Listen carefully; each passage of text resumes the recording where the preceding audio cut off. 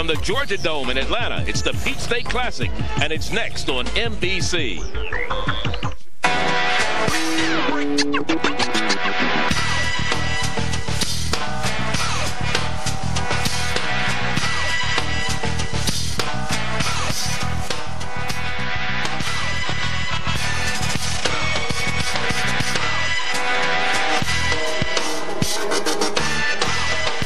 Atlanta, Georgia. And the Georgia Dome is the site of the second annual Peach State Classic as the Aggies of North Carolina A&T take on the Bulldogs of South Carolina State. Again, everyone. I'm Charlie Neal, and glad you could join us, and welcome to Atlanta. First of all, this is a season finale for both of these squads, the Aggies and the Bulldogs. But more importantly, it is an opportunity for them to gain bragging rights for the state of South Carolina or North Carolina for the next year. In fact, last year when these two teams met, it was a one-point victory for the Bulldogs of South Carolina State. Will it be that close again this year? Let me bring in my partner, Jay Walker. And, and Jay, you look at these particular teams and you look at South Carolina State, they have a new coach this year. Buddy Pugh came in. They started off like they were on fire, five and one. And one reason was the play of Reese McCampbell, the quarterback. And anytime a team gets off to the type of start that these Bulldogs did, you must be getting tremendous play from your quarterback. In this case, Reese McCampbell has led the MEAC in pass efficiency. He's also the leading rusher for this leading rusher for this Bulldog team. Consistency throughout the season with the run and the pass. And for all the disappointments, ups and downs that the Aggies suffered this year, one constant was the play of defensive tackle Ivan Butler. And you really like Ivan Butler because you saw the, the graphic there. He's got nine sacks. Keep in mind, he's doing this from a defensive tackle position. His first priority is to stop the run, but if you're a quarterback and you're holding on to the football in the pass, he can sack you as well, as those nine sacks indicate. 42nd time that these two teams have met. They know each other well in the kickoff from Atlanta between the Aggies and Bulldogs coming up when we return.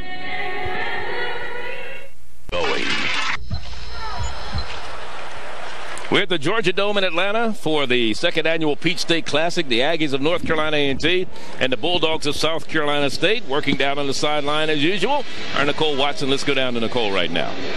All right, Charlie, thank you very much. This is a rivalry that goes way back, all the way back to 1924. The series record 20, 19, and 2, with the Bulldogs having a slight edge. Now, both teams are original members of the MEAC, but South Carolina State's Buddy Pugh was in his first year as head coach. He knows a little bit about the rivalry as a player, but he's obviously getting a true taste of things now as a head coach. For Bill Hayes, he's in his 14th season, in his 15th season, and has won four of the last five for the Aggies. The key here, the Aggies have not lost a season finale since 1996. So it's important. We'll see who heads north with the Peach State Classic Trophy. Charlie and Jay, back to you. All right. It's going to be very interesting, as you said, as you see the Bulldogs of South Carolina State in their visiting white jerseys. The Aggies are the home team from North Carolina A&T in this particular contest. There's some confusion on which side of the 50-yard line each team should be. Uh, when they had the coin toss, actually North Carolina A&T won the toss, elected to receive, and South Carolina State just had elected to defend the goal to our right and they lined him up in that position, but for whatever reason, they have switched it. Our referee today is uh, Daniel Evans and his crew, and I'm sure we'll get this one underway pretty soon. Sooner or later, you know, the folks down in the Carolinas can't wait to kick it off here. They're so anxious to get there. They lined up on the wrong side of the field. A little bit of jitterbugs early on uh, by both teams, anxious to get it going, ready to hit somebody, Carolina style. And there you see the South Carolina State Bulldogs, of course, uh, kicking off for them. Guy DePaulo. Well, maybe DePaulo will not kick off today for South Carolina State. It'll be Brandenburg, the punter, who's going to do the kicking off. And it comes down to Hudgens at the 12. Hudgens across the 15, and he's down at about the and he stumbles forward somehow to the 35 yard line. How did he get up that far, Jay? That's one of the things that they say when you ask about him. They say if there's a crack in the defense, he finds a way to expose it. You think he's going down, and he comes out of the pack running. So the Aggies under Jason Douglas will go to work offensively for the first time at their own 35 yard line. Jason getting his first start here as a member of the Aggies transferred in from San Mateo Junior College was a second team. Junior college All-American last year where he threw for over 3,000 yards. They working from the I formation On first down and 10, Hudgens, the second back in the eye, and he has the ball. Hudgens met with opposition soon as he hit the line of scrimmage, and it was Eugene Williams who came up to make the stop defensively. Let's look at the Office Depot, North Carolina A&T backs and receivers. DeBrian Hudgens is the tailback. Akeem Hale, the fullback. The wide receivers are Booker T. Washington, along with Brandon Trusty and Anthony Downing.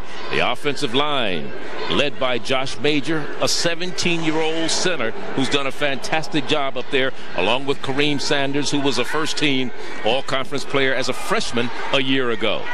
On second and nine. Here's Douglas rolling right, and he throws it, has it complete up to about the 45, very close to a first down to Booker T. Washington. And Booker T. Washington picks up his 12th reception of the year as we look at the Office Depot defensive alignment for the Bulldogs of South Carolina State. They play a three down lineman led by Eugene Williams, Javon Hamilton, and Ken Jones getting the start today. He was tied for third coming into the game as far as sacks are concerned in the conference. The linebackers Johnson, Harrison, and Pooler. And now Hudgens again on the carry with nowhere to go. Maybe lost a half a yard. And the defensive backs for South Carolina State, Chandler, Ellaby, Anthony Gathers, Greg Brown, and Justin Kenley. Well, that was not a third down. That was, uh, I thought he had picked up the first down on the previous play, but that was not uh, the case. And so it brings up a fourth down punting situation. So they drove from their 35, stopped short of the 45, and they're going to have to punt it away. And punting for the Aggies is Yannick Matthews. He's doing all the kicking right now for North Carolina A&T, and he gets off a pretty good one. From the 15-yard line, Trying to get something going is Goolsby. Leonard Goolsby on the return to junior from Warner Robins, Georgia. Brings it back from the 15 to the 24. So it's a nine-yard return, and South Carolina State goes to work for the first time. And you saw Goolsby there. You got a lot of Georgia boys on this team here from both of these teams. That's why it's a good location to play the game. A&T recruits heavily in Georgia, and so does South Carolina State. Goolsby getting an opportunity to play in front of his buddies. The stats on Reese McCampbell, those 1,759 yards as a single season passing record for South Carolina State. It is first and 10 from the shotgun. They go on the end around play, and it's Burgess trying to get around the corner, and Burgess will not get there. Lost maybe a half a yard on the play. Goes Chris Burgess as we look at the backs and receivers for South Carolina State. Jamie Scott in the backfield, Goolsby, Ham, Terrence Metcalf, if that name is familiar. His dad is Terry, brother Eric, and Chris Burgess, the wide receivers. The offensive line, David Aubrey is a good one. Started ever since he's been a freshman at left guard. The brothers, Roderick and Rodriguez, at center and right guard, and Bobby Collins is the right tackle. Second down. Single back in the backfield behind the quarterback, McCampbell. And we're going to get a delay of game penalty against South Carolina State. I think they took a little bit too much time, Jay. Yeah, you know, they got a situation they're not comfortable in. Delay of ball game on the offense. Let's look at the defense of the Aggies of North Carolina A&T. Blackstock, along with Ivan Butler. We spoke of him already. William Hall, that's Paul actually. William Paul and Desmond Wright is the tackle. The linebackers, Sean Jones, Shamar Milton, Maurice Utley, he's a good one. And in the secondary, Curtis DeLoach gets to start, along with Jason Horton at the other corner, Montrell Pittman, an academic All-American at free safety. Charles Parham is the strong safety. Play action. McCampbell going deep. Overthrown. Intercepted by Montrell. No, that's not Pittman, that's DeLoach. Curtis DeLoach with the interception. And for him, that is his first interception of the year. That was overthrown. McCampbell was going deep downfield, but he just overthrew his man. So the Aggies of North Carolina A&T get the ball on the first turnover of the ball game, and we'll be back.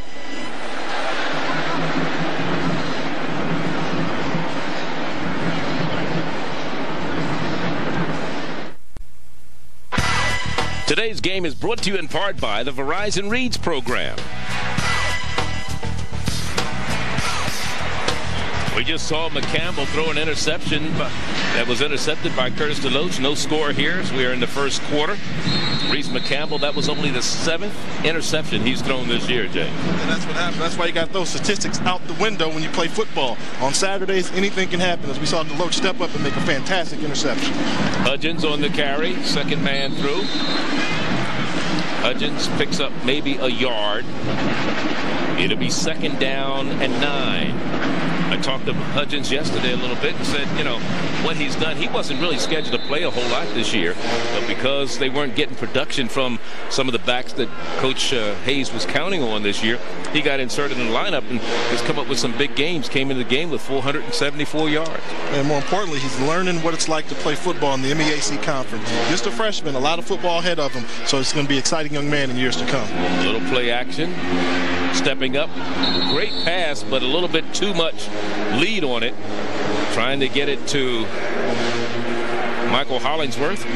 There's Hollingsworth there out of Shannon, North Carolina. Let's look at the keys to winning brought to you by Verizon for the Aggies. Yeah, and if you're North Carolina A&T, you want to continue to force turnovers. You lead the nations in turnovers. Keep that up. You have to dominate on special teams, not just win, but dominate. And you have to run, run, run. This is the Bulldog defense that's susceptible to the running games. We've seen Jay Colbert and T.J. Stallings tear them apart. They've got to establish a running game with Hudgens.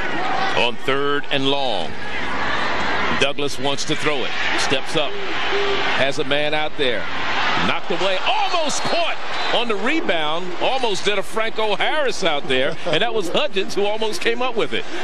Hudgens had a little out and up right on the sideline. The ball was not anticipated to go towards him on the deflection. As you see the quarterback do a good job of buying some time here by Douglas. Just unleash the ball upfield. Defender tips the ball right into the hands of Hudgens. Oh, he almost had it. He's a running back, not a wide receiver. But that would have been a fantastic reception, and the quarterback would have loved him too.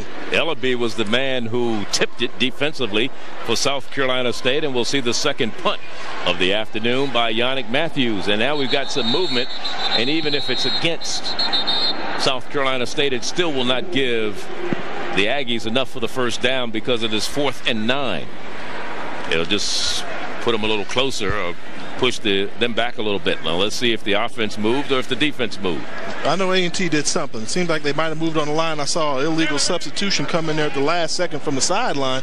That guy would have been uncovered if they'd have got away with it. So. You're looking at Matthews out of Uniondale, New York. He's the fifth leading punter in the Southwestern Athletic Conference. Had a 64-yarder earlier this season. And let's listen to our referee. Two fouls on the play. We have illegal substitution by the offense. We have a false start by the offense. So it's a five-yard penalty either way, and there's the illegal substitution someone just decided I need to get in the game. Now we watch them practice these things, and they, these special teams practice all the time. Why do players have lapses of memory, Jay? You know, you go over time and time again, but you're just not paying attention. You're looking at the scoreboard and looking at your mom and dad in the stands rather than paying attention to the football game. Running on late.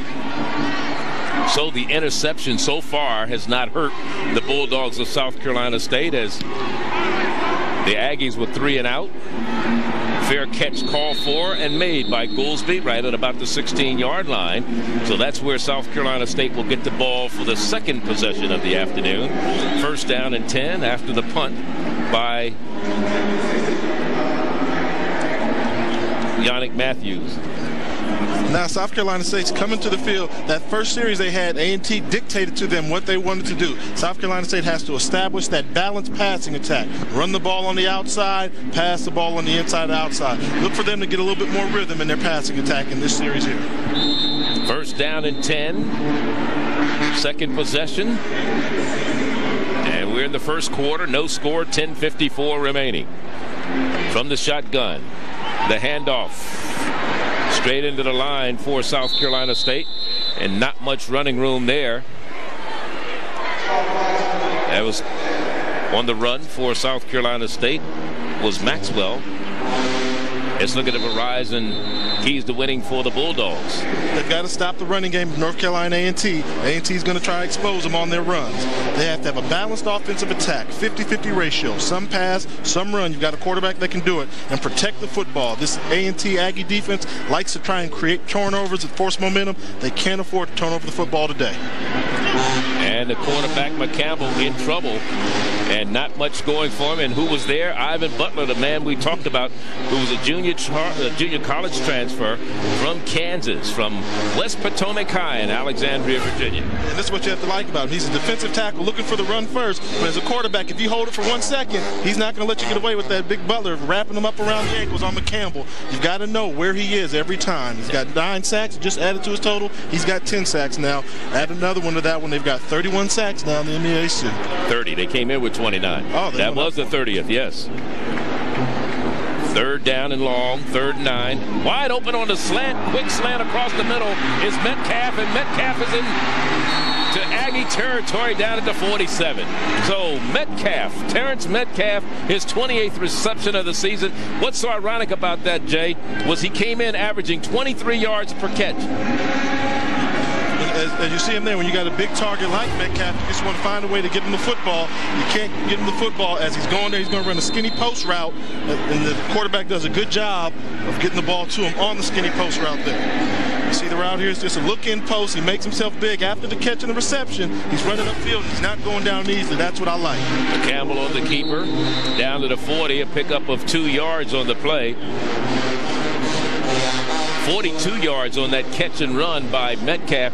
So that kept his average. One of the things we asked, we said, you know, we asked Coach Pugh, you know, you got a guy that's averaging almost 26 yards a catch. Why don't you find more ways to get him the football? And I think he said, well, I got the answer to your question right there, Mr. Smarty Pants.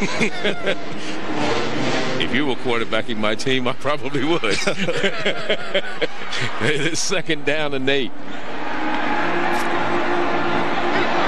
Aggie showing blitz and a quick fade pattern in the corner and it's incomplete on the far sideline and again Metcalf the intended receiver.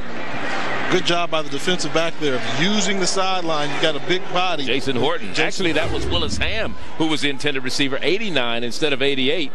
89. His dad used to be the athletic director at uh, South Carolina State at one time. Yeah, and you see there Horton at the last second managed to locate the football and swat it away with his hands there. This is the Aggie defense. They create a lot of turnovers. They're secondary. They've got two guys in the secondary with five interceptions. So be careful where you throw the ball if you're South Carolina State. One of the things Horton said to us yesterday was he likes to cover the other team's best receiver, like Metcalf, people like that. Here's a little screen pass. Here's Maxwell. Maxwell is going to score. No, he's out at the three-yard line. Kambui Maxwell picking him up and laying him down. That was 36 beautiful. yards on the run by Maxwell. Th that was beautiful there. Perfectly designed screen. You've got an aggressive defensive line. As you watch the running back here, he's going to come in here, make himself small, then look at the entourage he has of the blockers out there in front of him. Lead blocks going as he has a nice little lane to run down. He does a good job of following his blockers. He sold his blocking protection. If you watch the play from the beginning, you thought he was blocking. He made himself small. Then all of a sudden, he reappeared again with a sprint down to the three-yard line for the South Carolina State Bulldogs. And in the backfield, a full house backfield.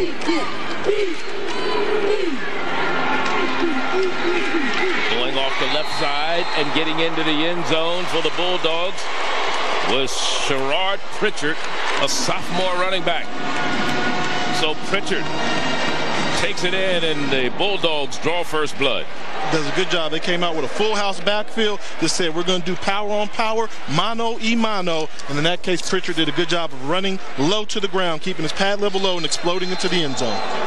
On for the point after touchdown is Guy DiPaolo, sophomore out of West Palm Beach, Florida. And he is 19 of 28 in PATs this year. The kick is blocked. So the extra point fails. But we have a six to nothing lead. And it's South Carolina State on the board first here in the Peach State Classic from Atlanta. South Carolina State's a little rejoicing here.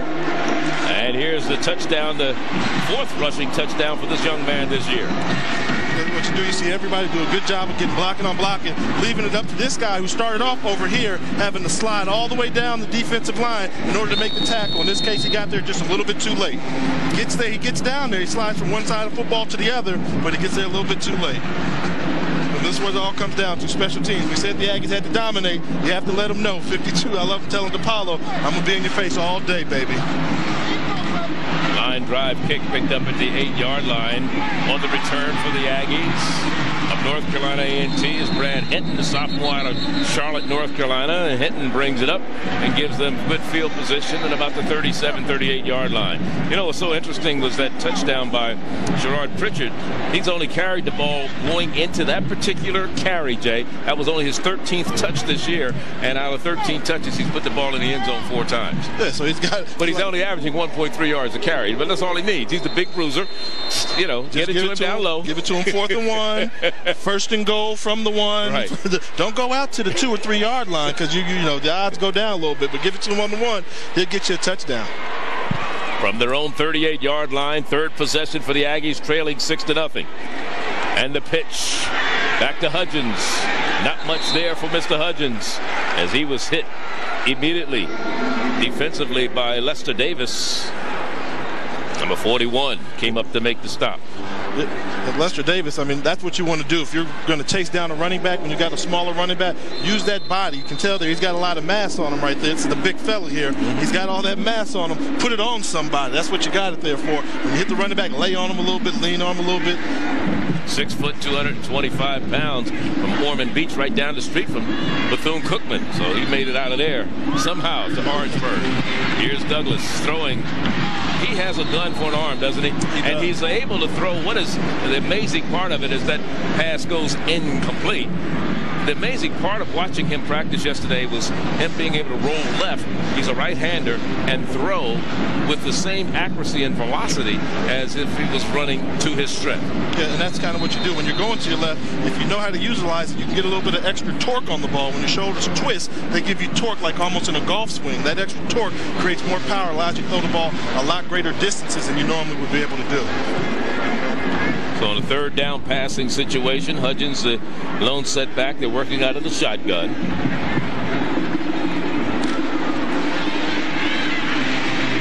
Steps up, little flip pass to Kenny Perry, and Perry is out of bounds and has the first down across midfield at the 43-yard line of South Carolina State. So for Kenny Perry, his 10th reception of the year, he came in with nine and the average of 11.6. His longest reception was 44 yards. Douglas did a good job of showing poise and presence there. He got flushed out of the pocket. He continued to look downfield. Once he made one defender miss, he was looking for a receiver to throw the ball to rather than looking for a running lane. That one was good for 12 yards and a first down. Empty backfield this time for the Aggies. Hinton in motion, the pitch to Huggins. And he picks up a couple of hard yards. Huggins came in averaging 4.5 yards per carry. He was a two-time MEAC Rookie of the Week. It happened against Howard University when he had uh, a big game against your former team, and uh, he also had a big game against Delaware State, both over 100 yards. Yeah, I mean, if you think about it, we talk about the MEAC being such a good running conference. We've got running backs like Hudgens, Colbert, you've got uh, Stallings, these guys, they run the football. You got that type of talent. You have to become a running conference. You got to feed your feature players. Hinton in motion. Douglas rolling right. Throws, and it's complete to Hinton. And Hinton's out of bounds, but a first down is gained down to the 27-yard line of South Carolina State. That's good for 13 yards. So take a look at Douglas, what he's going to do. After he makes the first guy miss, he just hits the guy on the out route. He hits it. We talked about him throwing the ball well on the run. Just a quick flick of the wrist to get it out there. He's got a natural throwing motion on the run, as well as he just got a pretty release in general. He throws a very pretty ball. Matter of fact, the first pass he threw yesterday, Charlie, kind of had your eyes wide open. Like, did you see that?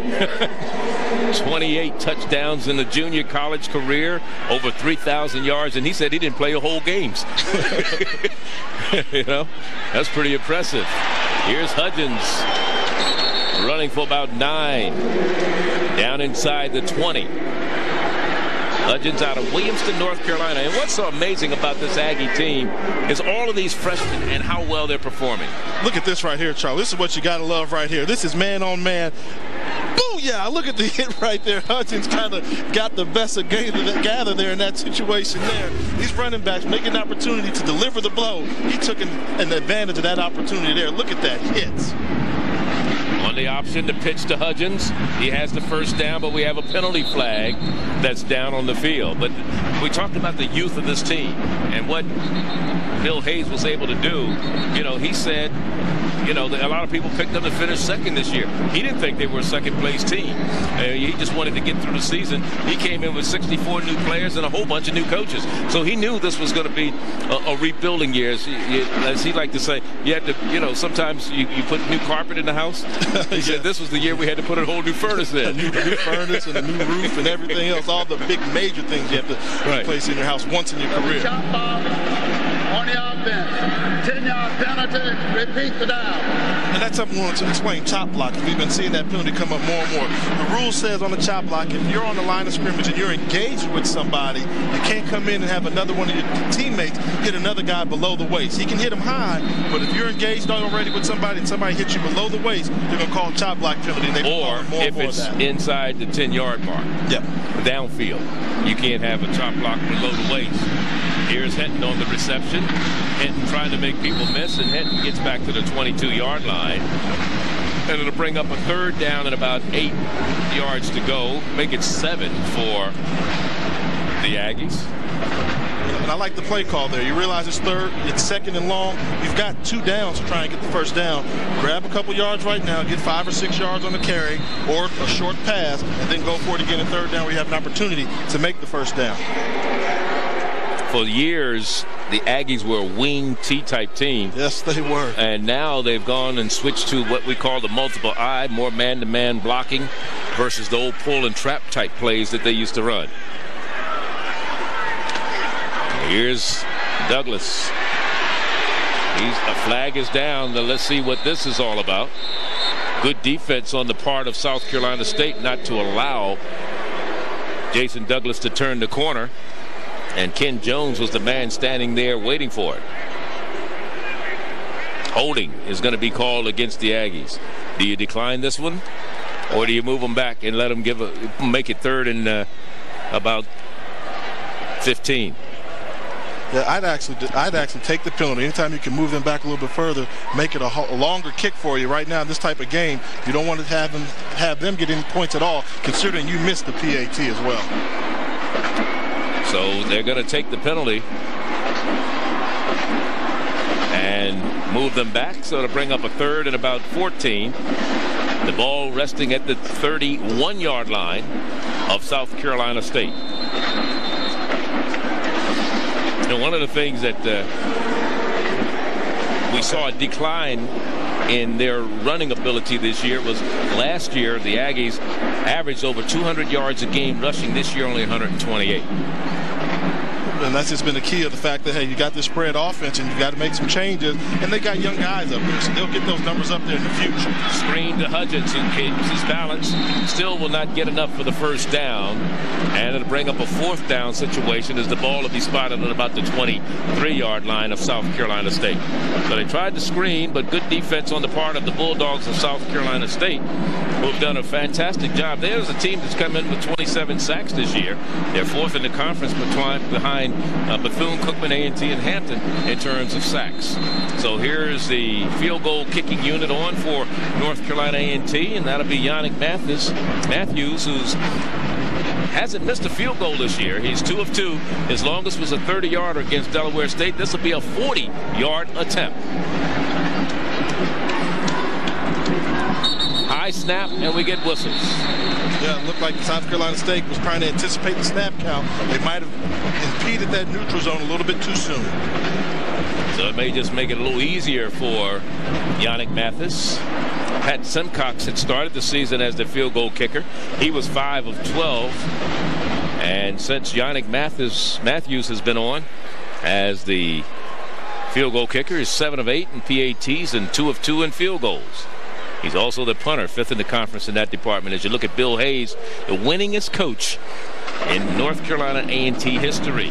Got his 100th win in the MEAC. And it's offsides against against South Carolina State. We have encroachment on the defense. Five-yard penalty. Repeat the down. I shouldn't say he got his 100th win in the MEAC. He had picked up his 100th win against the MEAC team, and that was against Bethune-Cookman uh, last year. He was, win seems like a long time ago. Yeah. and he was he's five wins away from hitting the 200 mark. Very few coaches in that fraternity. Billy Joe and Willard Bailey, among active black coaches from black college programs. This one, will it make it? It is good. And it's from 35 yards out. And we'll take one. We'll be back. We have three points on the board for the Aggies. Six to three is our score. Aggie band now they have something to celebrate. Their team on the board by way of a field goal from Yannick Mathis. Matthews. I want to keep calling him Mathis for whatever reason. Matthews, this he's perfect in field goals this year. Three of three. Yeah, and that's one of the things that I'm impressed by. The fact that they were even going to attempt a 40-yard field goal. Charlie, we know not too long ago you didn't see too many field goal attempts from 40 yards. The fact that they tried it and then he converted on the 35-yarder makes us know that the kicking game in black college football has come a long way. Yannick Matthews to kick it off for the Aggies. And this is a deep kick. It drives Jamie Scott all the way to the end zone. He will not get a chance to run it out. And he'll bring it out to the 20-yard line. And South Carolina State, leading by a score of 6 to 3, will get the ball when we come back. First and 10 at their own 20.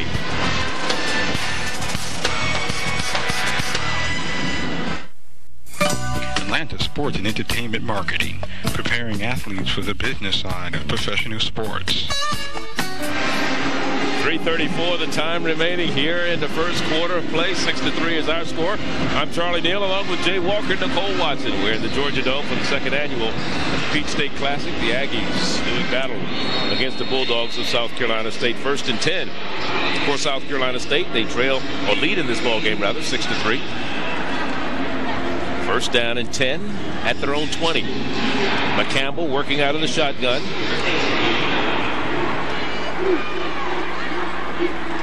The play, the play uh, given off to Maxwell off the left side. Kambui Maxwell, who was averaging five yards a carry coming in to this particular ball game. And student athlete of the week from the Aggies of North Carolina A&T is defensive back Montrell Pittman, a senior from Brattleboro, North Carolina, three-time academic All-American. 3.39 grade point average in mechanical engineering. In fact, last year won the Travis Kelly Leadership Award named for an A&T athlete who died while playing football for North Carolina A&T back in the 80s. Travis Kelly was a kicker at A&T. Second down. And it's intercepted. The second interception that McCampbell has thrown today. And coming up with it for the Aggies of North Carolina A&T. Let's see. 23 as Eddie Ravenel. McCampbell here is just going to force his ball into coverage. As you take a look, you'll see at least three North Carolina A&T defenders around the football. Ravenel did a good job of shielding off the opposing wide receiver and making the catch. More importantly, that's a hard ball to catch because it's such a close throw. He held on to it. With the, he held on to the hard throw. Ironically enough, he'd only thrown six interceptions in the previous that's why 11 throw those, games. Throw those stats out the windows on and now Saturday. He has, through, he has two already this afternoon. Eddie Ravenel with the interception for the Aggies of North Carolina A&T. And that is his fifth interception of the year. So great field position for South Carolina State. After the interception, they get the ball at the 23-yard line. Well, and that's one of the things we talk about the youth that this A&T team has. The starting center for North Carolina A&T is a true freshman. He's 17 years of age. Mm -hmm. So mm-hmm. think about it. Although he can be as big and strong as you want him to be, he still have that young strength compared to that mature strength. And then the mental areas, the quarterback center exchange, things like that are what really penalize young teams. Excellent pass blocker, though. And here's Hudgens. And he is not going anywhere as Travaris Chandler made sure of that. On the defensive side of the ball for the South Carolina State Bulldogs. Let's go down to Nicole. Well, Charlie, many were concerned about the transition of the legendary Coach Jeffries um, handing the baton off to Coach Buddy Pough to, hold up um, South Carolina State. But Coach Jeffries says he talks to Coach Pough almost daily. He says everyone needs to respect Coach Pough. He's a great offensive mind, and he's a hard worker. Also, he's a loyal bulldog. Now, Coach Pough said it's hard to play such, replace such a radiant personality as Coach Jeffries, but he knows a little something about stepping in the shoes and following other radiant personalities. He was an assistant for Lou Holtz at USC from 1997 to 2001. Charlie and Jay, back to you. And he's a product of South Carolina State, coached at OW. Orangeburg Wilkinson, who's had so many defensive backs that came into the league from, and when I say the league, we're talking about the NFL, that came out of OW, Orangeburg Wilkinson, believe it or not. Yeah, they call the school the factory now. If you want a DB, go to the factory. They got a couple kids starting at Georgia, Clemson, Donnie Abraham, uh, Maurice Kelly. Uh, just the list goes on and on in terms that Dwayne Harper came from there. So they've got a lot of DBs in Orangeburg, South Carolina. Yannick Matthews try for the second straight field goal, a 35-yarder. He just hit one earlier, and he puts this one through, and we're all tied at six apiece. So back-to-back 35-yard field goals by Matthews. They convert on the turnover this time, and uh, they tie it up at six apiece. Don't forget, sports fans, next Saturday, MBC Network will showcase the best grueling gridiron action in black college football. We want you to sit back, order a large pizza. Jay will have two, and with pepperoni and everything on it, and pull up a comfortable chair. That way you'll see 12 hours of football right here. It's called Classic Clashes. It starts at 11 a.m., and it'll go all the way till 11 p.m. At Saturday, November 30th. Right after Thanksgiving, you can, you know, fill up on some turkey, make a turkey pizza, right? That's so funny. You really act like you're not right there eating with me. Huh? Let's go take a look at the first quarter recap. As you see, starting off the game, Curtis DeLoach opened up, made a great interception on the opening series, and then Ivan Butler, we talked about in the intro, with the sack there, McCampbell showing you the pressure we laid. Then Terrence Metcalf split the two defenders down the seam, great yards running after the catch. Then they got the ball in the picture for the touchdown, lowering the pad level, and then the hit of the game so far going from Hudgens on Gathers, and then South Carolina State throwing another interception, two thus far in the football game, leading to six points for the Aggies. So Matthews, four for four in field goals this year. Hit two 35-yarders in this particular contest from the 19-yard line. North Carolina, South Carolina State. That's Jermaine Brown. Jermaine Brown across midfield, and Jermaine Brown down to the 44-yard line of North Carolina A&T. Jermaine Brown out of Gainesville, Florida, a junior. His longest return this year was 57. That one was 37 yards.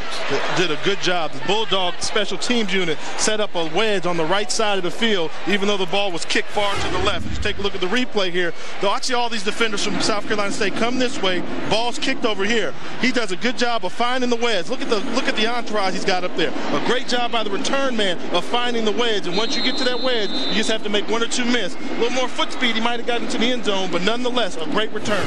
He averaged 23 yards per kickoff return. That one good for 32.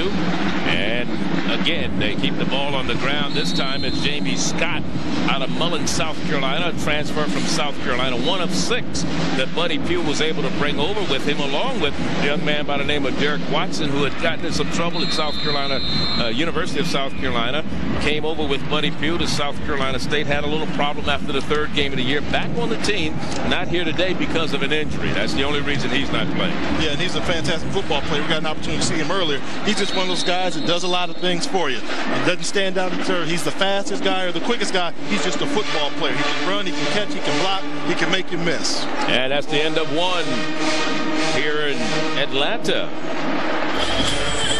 It's all tied at six apiece. A pair of field goals by the Aggies and a three-yard run by A&T. Today's game is brought to you in part by Office Depot. What you need, what you need to know. Skyline of Atlanta, Georgia. We're in the Dome in Atlanta, the Aggie mascot is here, and we are all tied at six apiece. As we start the second quarter, I'm Charlie Neal along with Jay Walker and Nicole Watson. First down and I that second down.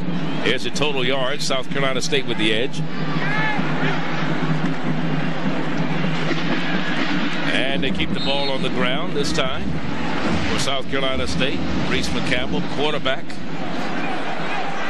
keeping it. Here's Mr. Goolsby, our student athlete from South Carolina State. He is a junior from Warner Robins, Georgia, and has a 3.1 grade point average in computer science. Congratulations to both of our student athletes today. Montrell Pittman of North Carolina A&T, Leonard Goolsby of South Carolina State, and not much running room for Jamie Scott. He is brought down immediately and on to stop is Eddie Ravenel, who already has an interception to his credit this afternoon. Yeah, flying around the football. That's what you have to do with this spread offense, or as Coach Hayes like to call it, this dart spread offense. You got to attack. You have to make sure you know where the football is, and then once you locate the football, run to the football full speed ahead. Don't let them get those extra yards just because you weren't paying attention. So South Carolina State's drive goes three and out. I shouldn't say three and out because they didn't really well, that, it really did go three and out. They had good field position after the long punt re- or punt return or kickoff return. And here is a punt situation for Brandenburg. And they'll just let it die. The ball will bounce right at the 15-yard line, and that's where it will die with 13.34 remaining here. And we're in the second quarter after only a 24-yard punt by Mr. Brandenburg, who was averaging 38 yards per punt. We're all tied at six apiece in Atlanta.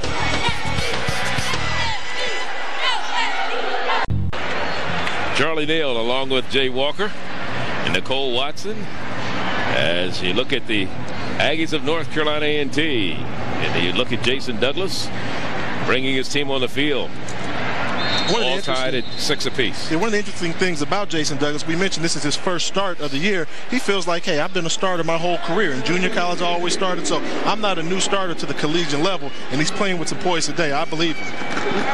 Hudgens going into the gut of the defense. And the defense of South Carolina State has been very stingy in terms of giving up running yards. Jack Johnson, linebacker, one of the men to, to meet the running back, Hudgens, as he hit the hole. You know, we talked about Hudgens, and I talked to him a good bit yesterday, and I was saying about reading and who he liked as a, a, running back, who he patterned his game after. He said Corey Dillon was one. The other person he named was Gale Sayers, and you jumped on him. You said, You don't know anything about Gale Sayers. You're not young enough, old enough to know anything about Gale Sayers. He said, But I watch TV. I watch film. I watch classic games. I know, I've seen enough to know I like Gale Sayers. I said, Well, tell me about when you look at a, a guy like Gale Sayers or Corey, Corey Dillon, what you like about them and reading holes and cutbacks and things like that. He said one of the things that made me laugh. He said sometimes there's false daylight out there. You think there's a, there's a hole and there's actually no hole there. False he said, yeah. on the offense, five yard penalty. Repeat second down. Bill Hayes not happy with that call and mistakes like that is what really has hurt them throughout the year. Here's a team that has been penalized an average of 87, 88 yards a game coming into this uh, particular ball game throughout the season. Yeah, you know, that's what you get. They're, they're going to learn. These are just mental errors that you get. False starts, delay a game. Those are mental errors. As you mature, you make less and less of those type of mistakes. Second and 12. Douglas bobbing the ball a little bit, now throws it out in the flat and has it complete on the far sideline to Michelle Hollingsworth. They call him the show. the show. Mr. Hollingsworth, he was the rookie of the year for the team last season. Is 17th reception of the year for the show. for the show. And Kareem Sanders, you know what they call him? The right tackle? Skyhook? Right no, Abdul-Jabbar? No, they call him Big Baby. the Big Baby. Because he's, he's young and he weighs about 300 pounds. Look at that pass. Dumped off. Great pass, and Hudgens comes up with the first down up to the 39-yard line. I just like the way Douglas plays, and that one's good for 17. Yeah, he did a fantastic job there. He's, he's nimble on his feet. He's got mobility. I mean, when you have the size he has, he's only 5'11", about a buck 60 at that. And you have if that type, that, you know, you have to be, have creative ways to get away from those defensive linemen, buying time, allowing your receivers to get open down the field. More importantly, scramble, but continue to look downfield, making your reads. And this passes. Jamal Jones gets the reception. He had 468 yards and a pair of touchdowns a year ago on 32 receptions. And they're going without the huddle. There's the stats on Jason Douglas today 9 of 12 for 94 yards. Under pressure incomplete. Boy, you're talking about standing in there and defying the odds. Eugene Williams had him all wrapped up, and Eugene is still fussing at his own inability to bring down the light quarterback. Yeah, I mean, we said he weighed a buck 60, but he must have some strength in those legs. That must be where the only muscle is. As you see here, Eugene Williams has him wrapped up. He's got a sack. He's looking downfield. Look at this. He recoils and says, well, he's not going to take me down. And he still almost completed almost the pass. Completed I thought he was going to. Third down and about three. And we're going to get a flag. There's a timeout call by the Aggies. They're going to spin one here with 11.30 to go. We'll take a timeout here. It is all tied at six apiece. Third and three facing the Aggies when we return.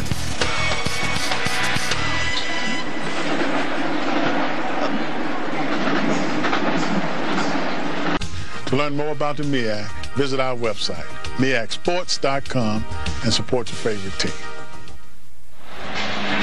You just saw Dennis Thomas, the commissioner of the Mid-Eastern Athletic Conference. When I met him, he was the defensive coordinator of Alcorn State. They call that the tunnel defense. You go in the tunnel and don't come out. Well, that reminds me of the statement Hudgens made about that false daylight. You think there's a hole there and there's nothing. You go up in there and there's no a point of no return. Right? Point of no return or a headache, either or. Which one do you want? It is third down and three for the Aggies. From the shotgun and the pitch back to Hudgens. Hudgens is not going to get it. He is stopped short. And coming up is Tavares Chandler, who made sure that the running back Hudgens did not advance to the first down mark. In fact, they lost a couple of yards, and that'll bring up a fourth down punting situation, fourth and five. They lost two on the play, and we have a player injured for South Carolina State downfield. Looks like one of the secondary players who's ailing down there at about the 36 yard line. Looks like Ellaby there. DeWitt, Ellaby, Ellaby. Let's go down to Nicole on the sideline. Nicole. All right, Charlie, with me now is the mayor of our proud city of Atlanta, Shirley Franklin. And Shirley, I know that you're very supportive of this game being here in Atlanta because Atlanta has a history of having a huge alumni base and supporting black college sports. Absolutely. We have African American colleges here uh, at the Atlanta University Center. And we're so glad to have the Aggies and the Bulldogs in Atlanta for this second annual Peach State Conference. Okay, a lot of people don't know also Mayor Franklin is a Bison. She went to the same school that our color analyst Jay Walker went to. How important is it for HBCUs to kind of stick together? Oh, we, we definitely need to stick together. We've got to make pitch for more federal funding and more private funding, and just to demonstrate that uh, these colleges and universities really have made a big difference in American history by preparing African Americans for leadership. All right, excellent. Thank you so much for joining us, Mayor Franklin. I know you're going to make a presentation at halftime. We look forward to seeing that. Thank you okay? very much. Thank you. Thank you. Charlie and Jay, back to you. All right, thank you very much. And a lot of action and activities going on here in Atlanta. I've seen the mayor on the news quite a bit lately, especially with the corrections officers. They having having their problems uh, with uh, the layoffs that are threatened. But let's look at our latest major black college sports poll. And you see Grambling stays number one, along with Bethune-Cookman. Tuskegee number three, followed by Alabama A&M, moved up, and then Hampton. We'll get the rest of it for you in a moment. McCampbell throwing long. Intercepted. A third interception of the day for McCampbell. And coming up with the INT for the Aggies of North Carolina A&T is James McCoy. McCoy made a fantastic catch there, recognizing where the ball was. T- As take a look here, they're going to roll out the quarterback, get him outside the pocket. McCoy's got his back turned, but he's peeking inside the whole time in anticipation of the ball coming behind him. He was able to stop before the wide receiver Metcalf could. Turk hit on the brakes, er, get the interception, get the ball back to the Aggies. That's three interceptions on the day, Charlie. I told you, throw those stats out the window on Saturday. There's- just don't matter. There's Mr. McCoy celebrating on the sideline. James McCoy, his third interception of the year. He moved from running back last season. First and 10 Aggies at their own 42 yard line. 43. Hudgens stumbling out of bounds after he crosses the 45. Let's look at the second half of the poll for this week. Fayetteville State, Florida A&M back in. Morgan to eighth. Alcorn ninth. Jackson State 10th. Yeah, Howard dropped out this week. You had to say that, didn't you? had said. First time in a long time, a lot of parity going on in black college football. A lot of teams there with multiple losses. Normally you see two losses there, but see teams there with three or four losses on the year. So it tells you it's getting very competitive on all levels of black college football. Fort Valley and uh, South Carolina State also dropped out of the top 10 poll. And speaking of Jackson State, we'll see them a little later on tonight. Dwayne, Mark, and Joyce are down in Jackson for that matchup in terms of football. The uh, final game for Alcorn and Jackson State. And of course, immediately following this game, we'll take you to Raleigh, North Carolina, where Sam Smith and Bernie Bickerstaff, along with Kim Davis, are there to bring you the Shaw Claflin basketball contest here on MBC. Third down. Fade pattern down the right side. In and out of the hands of Jamal Jones. Good defense there downfield for South Carolina State by Kenley. I mean, one of the things you like about this here is the chop block there, obviously, by Hutchinson was awesome. But then take a look. If this wide receiver, Jones doesn't go up and try and catch this ball at its highest point, Kenley was waiting to pick it off. Yeah. So that's what you have to learn out there as you go out there and you try and catch the ball at its highest point. Don't wait for it to come to you. Don't make the easy catch. Make the tough catch. And Kenley did a good job of covering a lot of ground to make the hit. So it's been a defensive battle, a lot of punts so far in this game. This one close to being blocked. Fair catch call for made at the 22-yard line, and it was a 30-yard punt for the Aggies of North Carolina A&T, and we're still tied at six apiece. Under 10 minutes to go in the first half. Down at 10, Bill Hayes' team. Six points on the board with 9.56 to go. South Carolina State with the ball, and Reese McCampbell has thrown three interceptions. And, you know, coming into the game, Jay, he was ranked 19th in the nation in 1AA in passing efficiency with a rating of 141.9. And the formula has to do with attempts, completions, touchdowns as compared to interceptions. As they keep the ball on the ground, trying to go right this particular time with Chris Burgess on the end around. And let's look at the three interceptions that uh, this young man, Reese McCampbell, has thrown today. Yeah, on the opening series, trying to excite the crowd early, throwing the deep ball. Great coverage by Curtis DeLoach there. This one, he just forced it in the coverage there. Three Aggie defenders trying to get the short pass. And this one here, rolling out of the pocket, underthrows a ball here. If he gets that ball out there a little further, he has a chance. On the underthrown ball, the defender did a good job of making the play there for three interceptions on the year. Let's see if Coach Pough and the staff get a little gun, third interception on the game, excuse me. Let's see if Coach Pough and the staff get a little gun shine, start running the ball a little bit more, trying to settle the quarterback down. If there's any consolation to it, they've only given up three points. And there's a good completion down the middle of the field. And on the receiving end for the Bulldogs of South Carolina State was Maurice Manurin. I wanted to hear you pronounce that name there. He's out of South Ozone Park, New York. 39 yards on the reception. Good job. Look at the quarterback. Look the safety off to the right just to freeze him there, then throw a rope down the seam into Morris Mayoni down the seam there. Good job of holding on to it after the hit. Well, you see, they didn't give up and didn't, didn't stick to the running game. They decided, hey, the kid's been my quarterback all year long. He's been completing them, so why don't we stay with him? He sets up the throw, but he's not going to get away from the Aggie rush this time as William Paul rated number four JUCO lineman a year ago. That's his second sack of the year.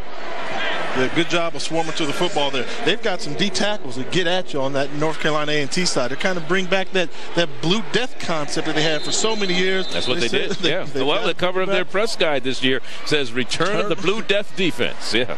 A lot of people say I was responsible for the fall of the Blue Death defense, but they brought it back. But phenomenal job. They've got some talent. Everybody knows in the whole conference they say, "Hey, the Aggies are down right now. We better get them while they're down because yeah, they're yeah. definitely coming back." McCampbell wants to go to the air under pressure, fumbles the ball ball, but we're going to get a face mask. Unfortunately for the Aggies, we're going to get a face mask penalty against them defensively. Even though there was a fumble, so they will not get the ball back. You know, this is something there. This, as a quarterback, when you have a screenplay call and they had a screen set up, your, your, coach, don't get sacked no matter what. Get rid of the football, do whatever you can, but you can't risk getting sacked, trying to hold on to it for that last moment, getting off the screen pass. You should have just thrown this away. He's such a good athlete that he thought he could make somebody miss and run out the pocket a little bit. If the screenplay's not set up, get rid of the ball. They'd much rather have third and 15 than third and 35. Or the fumble in that case, they got lucky. They got away with it. There. I think if there's any been any knock on Personal foul. Wrong. Face mask tackling by the defense. Hey, we're over here. 15 yards from the previous line.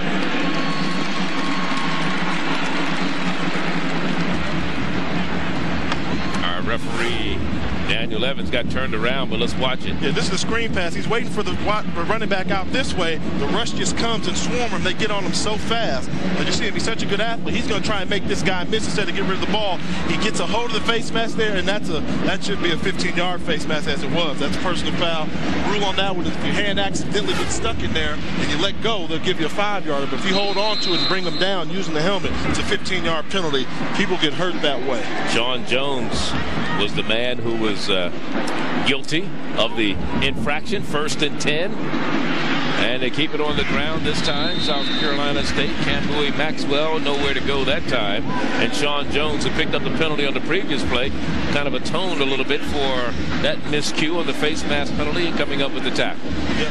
In every game, I was talking to Robbie Wells, the defensive coordinator of South Carolina State. He said, if you look at back at every game, there are going to be about four or five plays that are difference makers. And they're things that don't show up in the stat sheet. That face mask could be the one because if there wasn't a face mask, A&T would have got a fumble, been on their way to scoring a touchdown with great field position. Now, at the end of the day, if they score, if South Carolina State scores, that means they capitalize on the turnover. Jamie Scott in the backfield. McCampbell throwing toward the end zone. Intercepted the fourth one today. Can you believe it? And this one is Montrell Pittman. And for Pittman, he brings it back out across the 15 to about the 20. Yeah, one of the things you can't do is have a ball hang in the air for that long. You know, I, I wasn't even necessarily looking at the receiver he was throwing to. I was just amazed that I saw a ball hanging in the air this long. He's rolling out to his left. He doesn't get that torque. He kind of lost his ball up there with more trajectory than he needs. He overthrows the receiver. Pittman does a good job of getting over there to the football. I talked to the defensive coordinator earlier. He said that Pittman is just a ball hawk. Yoshida said, oh my goodness, Pittman is going to be all over the field today, and he proved his coach right here just now Preseason second team all conference, one of the best in the conference, came in the game with five interceptions. The Aggies came into the game with a plus 40 takeaways. They have 44 takeaways so far this season. And here is Douglas. He's under pressure. He will not escape. They're going to call out a fumble. If it's recovered, it's a touchdown for South Carolina State. We haven't heard, seen any. Yes, the official finally puts his hands up. Touchdown there, that Bulldog defense. Drake Pooler coming up with it. So one good turn deserves another, I guess. Yeah, it's, it's, funny how that football bounces. You never know which way it's going to go. Go for you, the same things that make you laugh, it can also make you cry. In this case there, I thought there might have been a face mask there, but I didn't see any flags come up on the face mask. In that case there, South Carolina State got the ball in the end zone and they swarmed to the ball. Key thing I liked about it, you see that race to the end zone between oh. the offensive lineman and the defensive oh, yeah. lineman? I didn't know whether the quarterback was down when the ball came out. That was the only thing I was concerned about, whether he actually was down, because of course we know the ground cannot cause a fumble. They're going to go for the two-point conversion. McCampbell, he has one lone setback beside him, and he's keeping it, looks to throw. Now he's trying to turn the corner. He will not get there. He will not get there. The Aggies deny by way of Shamar Milton, the freshman linebacker. Here's a timeout on the field. And it's 12 to 6 our score. Let's look at the play once again. The big hit by South Carolina State's Matthew Brigham. And now the recovery by Drake Pooler.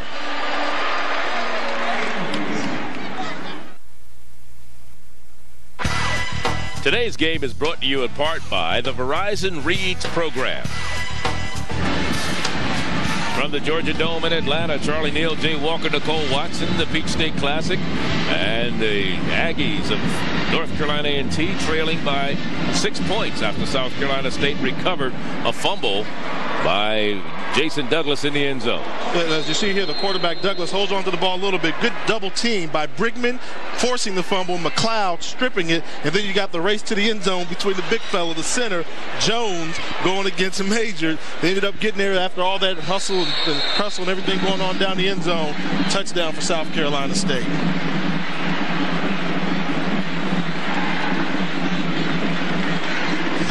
And let's look at our Office Depot MBC Player of the Week. This week's honor goes to Morgan State running back TJ Stallings, who put on a show against South Carolina State last week. 5'9 senior from Randallstown, Maryland, rushed for 177 yards, scored three times, and carried the ball a school record 45 times. He also set the school single season rushing record with 1,047 yards, which was last set by Ali Culpepper. The play of Stallings this season has helped Morgan to their first winning season since 79 and for his efforts. TJ Stallings of Morgan is our MBC Player of the Week. We have a penalty flag down. Aggies with the ball at the 49. Let's see what this was about. All start on the offense. Five yard penalty. Repeat the down.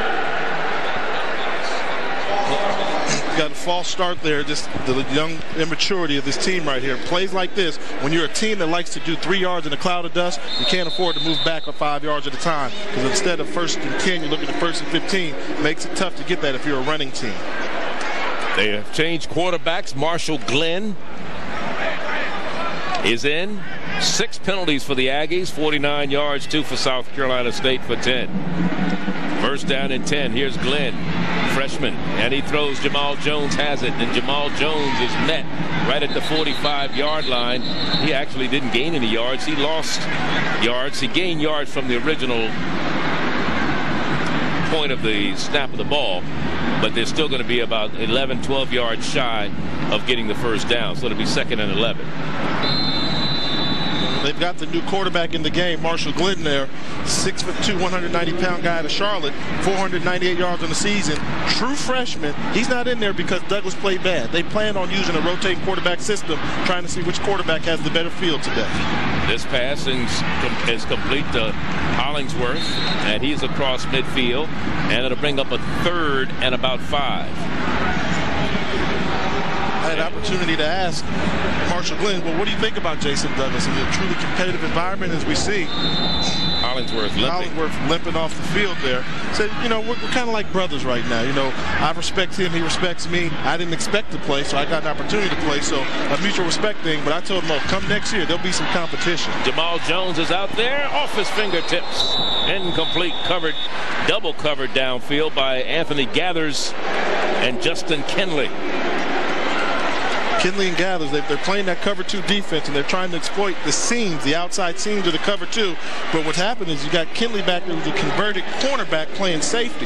So he's a lot quicker than your normal safety would be in that situation there. That's why we've seen Kinley make plays like that time in, time out today. And again, we see Yannick Matthews on to punt for the Aggies.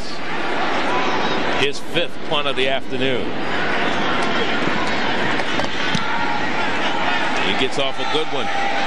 You let that one go. And it does go into the end zone. Goolsby lets it go.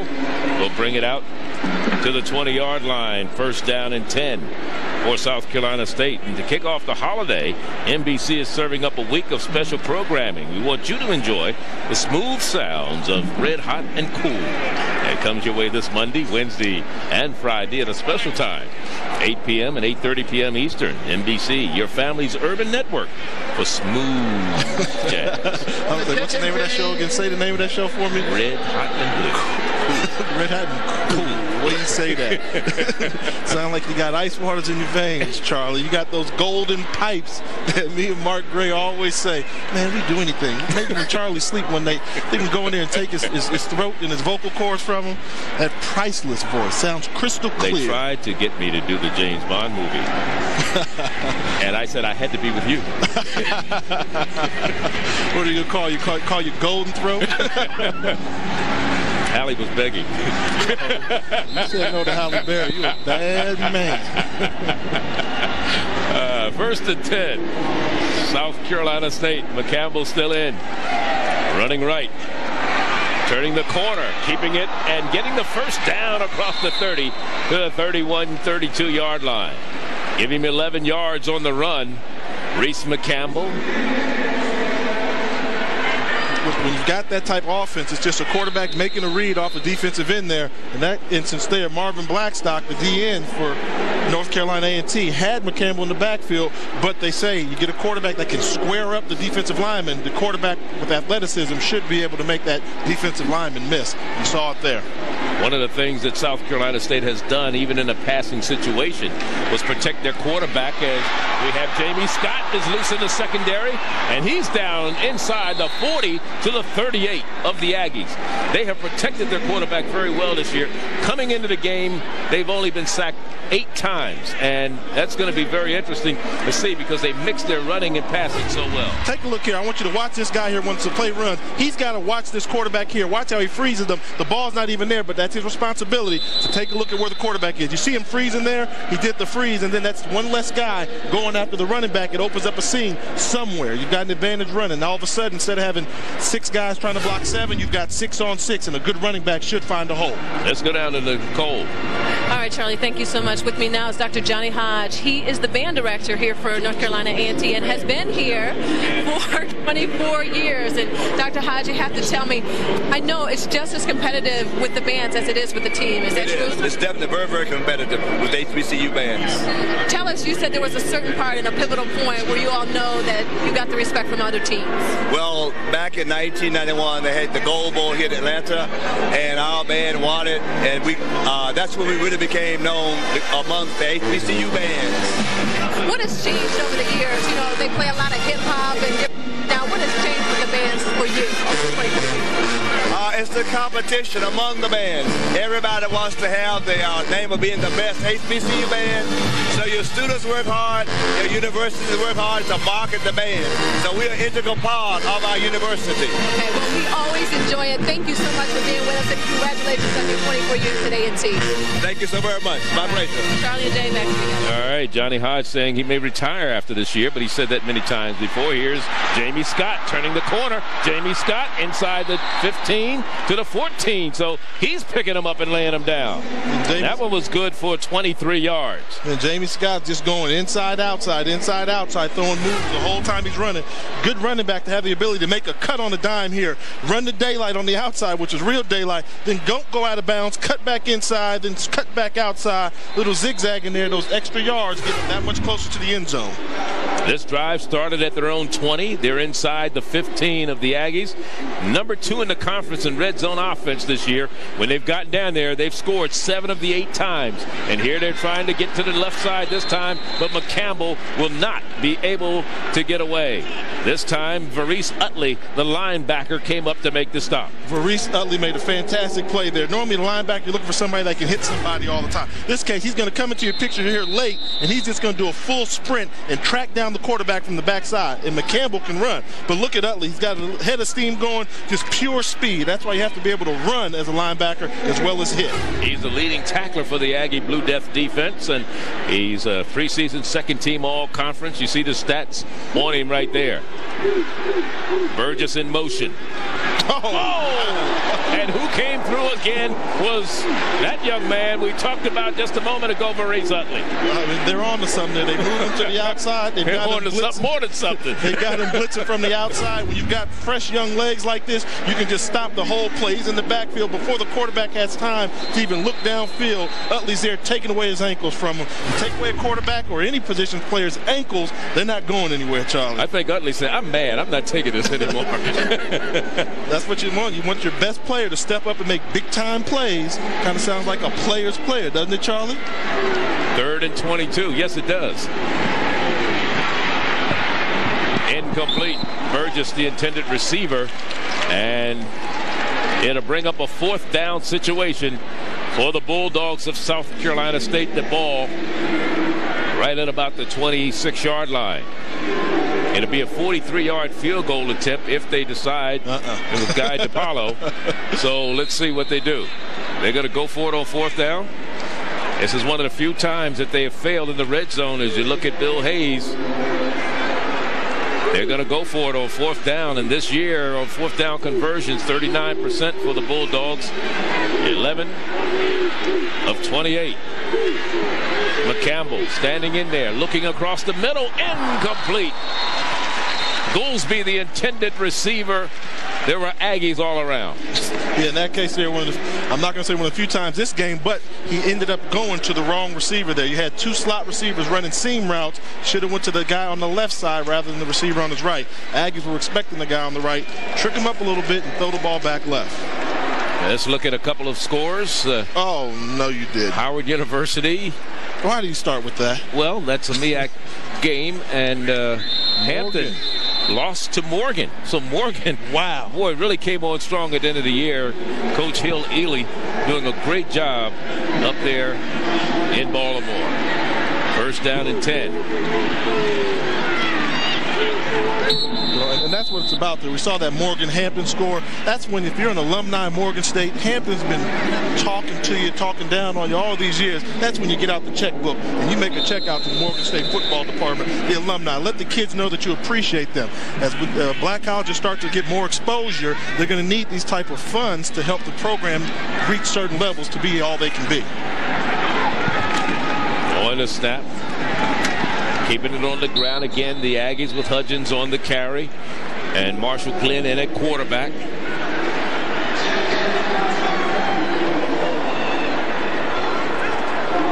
So Howard finishes the season, what, six and five? Four and four in the conference, and they were right in the thick of the things. You know, at, you know, at one point, all the way to last week, they certainly were. October did a lot of people in. and I'll talk about that in a moment as far as this conference is concerned. It's third down and four. From the gun, Glenn. Incomplete. Jamal Jones. And we get a flag? Is this an interference flag? I mean, the field judge threw it. He was down at the goal line. He threw that about 80 yards, didn't he? Yeah. Richard Martinez. But we talk about the October situation. Here's our, they're going to call interference against South Carolina State. Uh, South Carolina State beat FAMU beginning of October. Then Howard beat FAMU in Tallahassee. Morgan beat A&T in Greensboro to spoil their homecoming. That was the following week, October 12th. Then October 19th, you had Florida A&M beat A&T in Tallahassee. Morgan beat Howard in D.C. And then Bethune beat South Carolina State in Orangeburg. Then on the 26th of October. Pass interference by the defense. Was greater than 15 yards. We'll penalize them 15 yards from the previous spot. First down. South Carolina State beat Hampton in Orangeburg. Howard beat A&T in Greensboro. That was just the month of October. I mean, it was just turmoil. Then November, of course, FAMU beat Hampton. Delaware State beat South Carolina State. And then a couple weeks ago, it was Hampton beat Bethune. Howard beat South Carolina State. Norfolk beat Morgan. And right now, it's who? Bethune, Cookman, and Florida A&M. They're playing today to see who wins the outright championship or if it's going to be a share. Hudgens going off the left side. And Hudgens close to a first down after a nine-yard gain. And he takes it down to the 44-yard line. And he does have a combination of Warrick Dunn and Corey Dillon. It's kind of weird that you know you compare him to those type of guys because well, he said Gale Sayers. He said Gale Sayers, but some of us say Warrick Dunn. His teammate told him Warrick Dunn, but then somebody else said Corey Dillon. He's got that inside-out ability. He doesn't just let one defender bring him down, but he's got enough quickness that he can make one defender miss, almost like a Warrick Dunn, and the strength of Corey Dillon to run through a tackle. Minute 30 to go in the first half. Incomplete. This pass on the near sideline.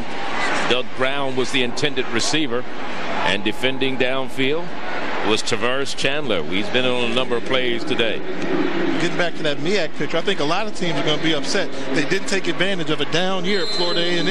You know what they say kind of about a king. You don't want to make a king angry. If you're going to make a king angry, you better kill him. Because if not, the king's going to come back and kill you. And Florida A&M got an opportunity to win the MEAC title a year when a lot of people didn't think they should be there. Coach Joe's done a tremendous job of coaching to get his team in a position to win another MEAC championship. On a reverse, coming to the near side.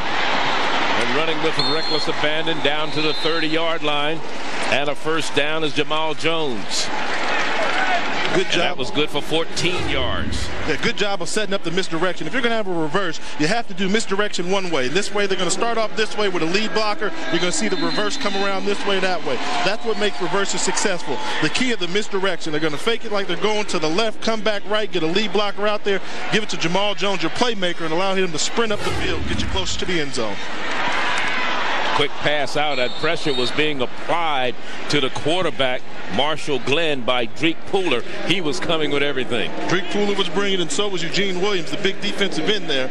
They were bringing the pressure, trying to get to the young quarterback. You got Marshall in there, a true freshman. They're trying to welcome him to the. You've already gone through the MEAC play. Now welcome to the Carolina version of MEAC football.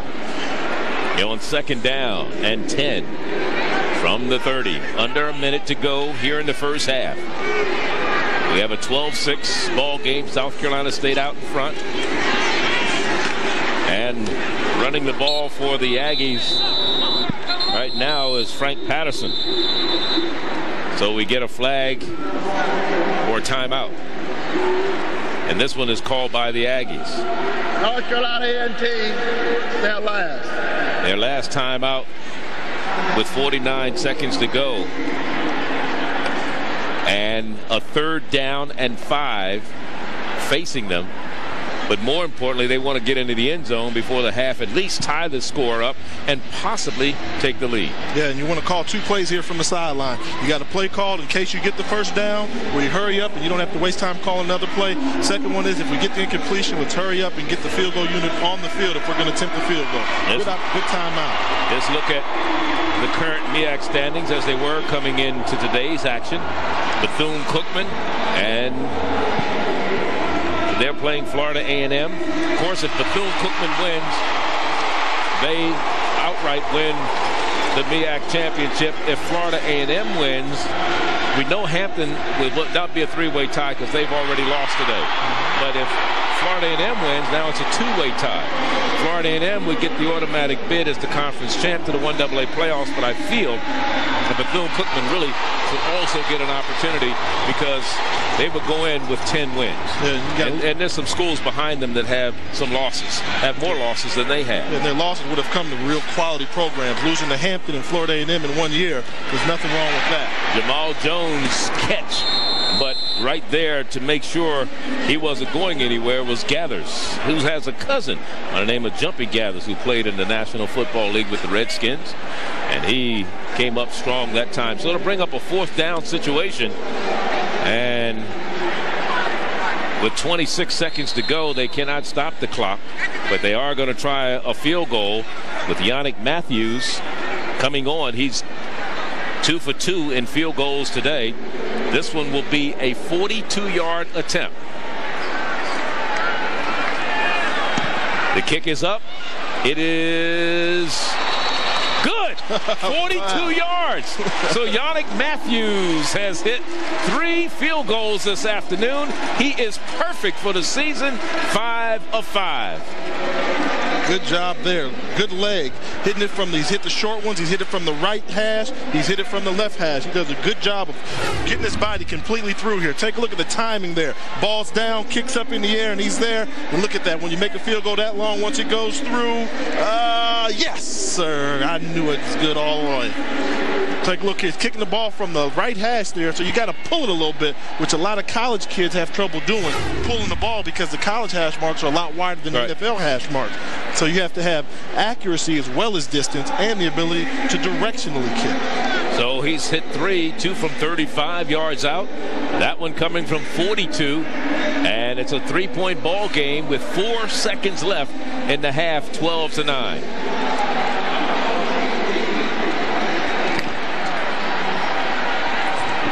The Aggies started that drive at their own 26 and capped it with the field goal.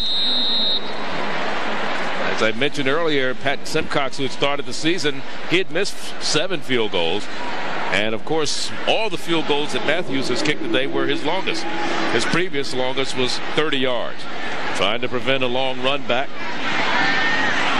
for the Aggies. and it was Jamie Scott bringing it back, and that's going to end the first half here from Atlanta, Georgia, the Dome, and the Peach State Classic. As they go to the locker room, the Bulldogs enjoying a three-point advantage. They led 6-0 on Pritch's three-yard run. And now they lead it 12 to 9. Let's go down to Nicole. All right, Coach Pough. Has thrown four interceptions, and yet you you all are on top. I know you're a little bit concerned about that. You think it's butterflies, or the, the defensive pressure so much?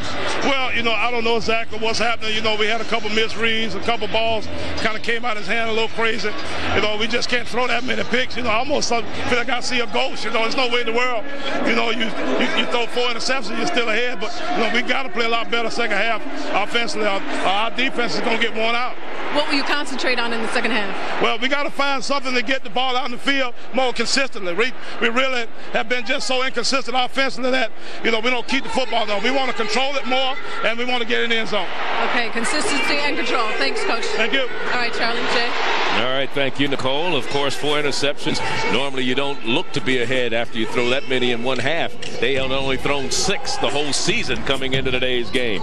Earlier today, a drum competition. We'll be back with more in a moment. Today's game is brought to you in part by Office Depot. What you need, what you need to know.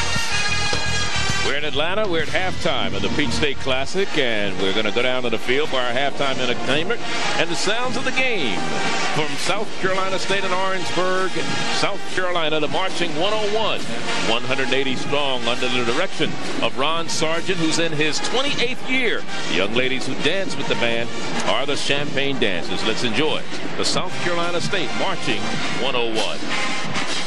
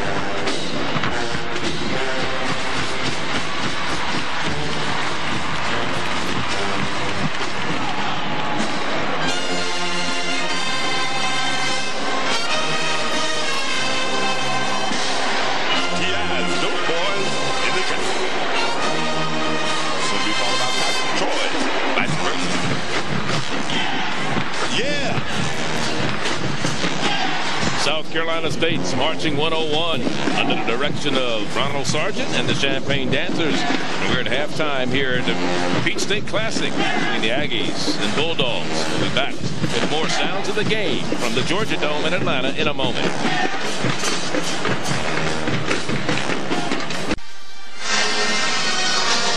At halftime here at the Georgia Dome for the second annual Peach State Classic. I'm Charlie Neal along with Jay Walker. And Let's look at our first half stats brought to you by Office Depot. What stands out in your mind? I mean, obviously, you know, you got to notice the turnovers right here. Four interceptions thrown by a quarterback that only threw six all year. He's thrown four interceptions. The time of possession, obviously, A&T came in here wanting to control the clock a little bit. They've done a pretty good job of doing that with five minutes, uh, five-minute advantage there.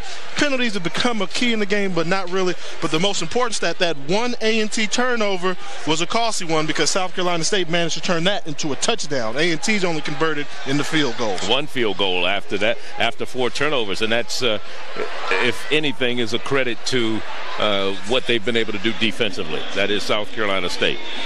Here's our Office Depot halftime stats. Let's go down and enjoy the home band for this particular game, the marching blue and gold with the blue and gold marching machine from North Carolina A&T in Greensboro, North Carolina. You saw earlier Dr. Johnny Hodge being interviewed by Nicole Watson and the golden delight of the young ladies who dance with the marching machine. From Greensboro, North Carolina, the blue and gold marching machine of North Carolina A&T.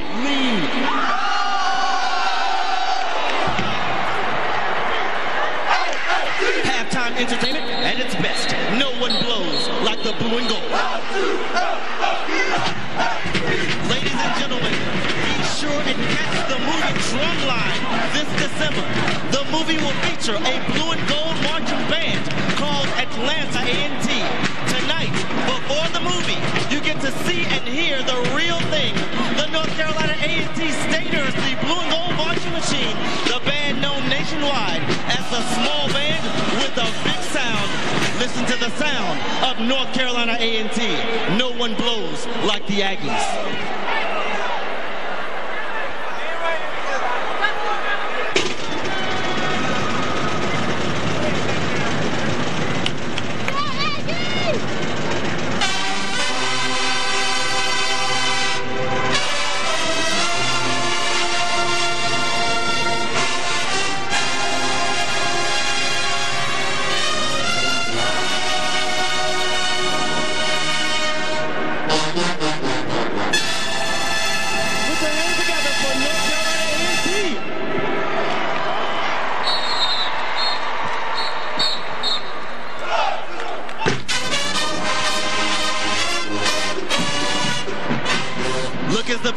it downfield to the music of the Jacksons and torture.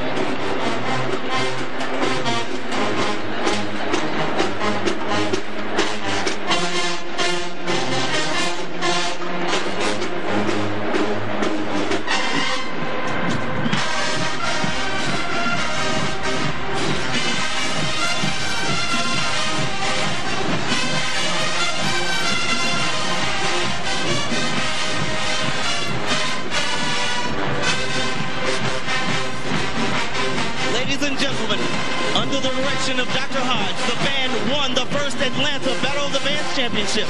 The band was also selected in Sports Illustrated as one of the top 10 bands in the country.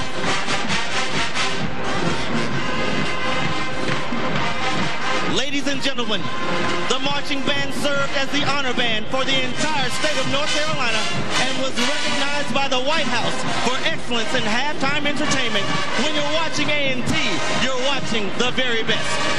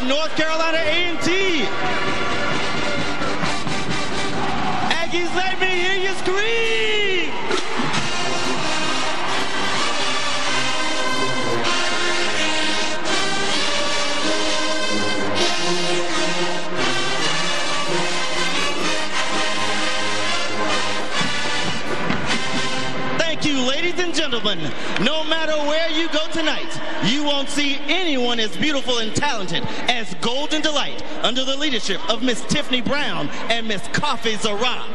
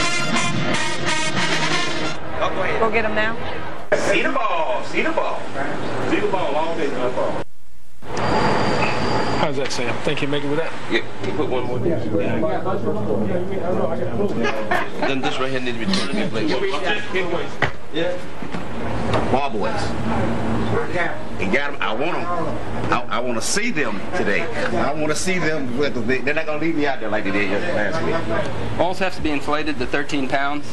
A lot of times the team will underinflate or overinflate the ball, so this one's inflated to 8 pounds.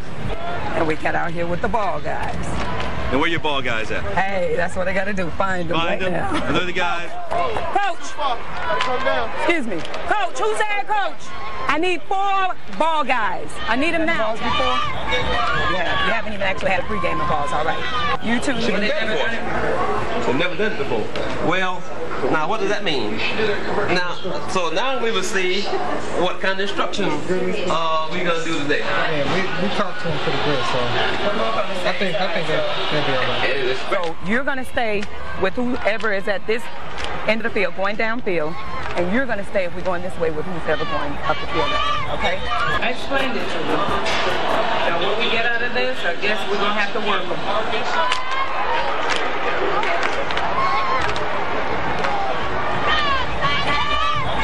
Where are my ball guys? Where are my ball guys? I want my ball guys here when I get back. To my ball guys, I need you in place now. I need a ball.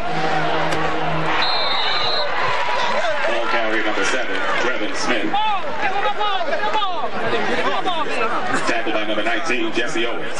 Again, I want to thank all y'all for a good job today. Uh, a good communication, uh, good mechanics, good hustling. Uh, that is the mark of good officiating. All right, it's a tough job, but somebody's got to do it, and we know we're critical. I know I sit at home and go, hey, that was a terrible call, but Black College Sports has some of the best officials in the game. And Charles, you know a little bit about that. You were out here making a few calls yesterday, right? Oh yeah, I always make a good good call. I don't I don't throw the flag unless I know what I'm talking about. look like a referee. And we saw Niece Kennedy in there, the first female official in 1AA football. She worked uh, this whole season with the Mid-Eastern Athletic Conference. Congratulations to her, Sam Jones, and the whole crew. Your thoughts on the first half, Jay? I think that both teams came out and played tremendously well. I think that South Carolina State capitalized on their turnover. North Carolina A&T, their turnovers kept them in the game. The one interception out of all the interceptions that McCampbell threw in the first half, the one that's costed was the one he threw down in the red zone Right. because you take points off the board. All right, let's look at some of the highlights from the first half. And we started off here with Reese McCampbell going to the air, and here's Deloach. He stands up under there. I mean, it was more or less Deloach was the receiver more so than his own receiver. Deloach made a great play on the ball there. Then McCampbell just forced the ball in the coverage there. Recurring theme in the first half, rolling out here, ball underthrown here. Defensive back Horton does a good job of coming back to the football. And then you see McCampbell here. This is the costly one here. Down, teams driving in, going to put some points on the board near the end zone. You're throwing an interception. Instead of getting three or six, you get zero. And a good job on the return there by the Aggie defender. especially in the red zone area. And of course, here we go with the fumble by North Carolina A&T. Drake Pula picks it up in the end zone, and South Carolina State gets more points added on on the only costly, real costly mistake that the Aggies made so far. We're at halftime here, and we have a three-point ball game, 12 to 9. We'll be back second half from the Peach State Classic in Atlanta in just a moment. all of our students. To learn more about the MEAC, visit our website, meacsports.com, and support your favorite team. You're watching an MBC Sports presentation. Coach, tell us about the second half. Have you told your team to capitalize on the turnovers that have existed with South Carolina State? Well, we tried really hard. Um, it's tough to get some consistency.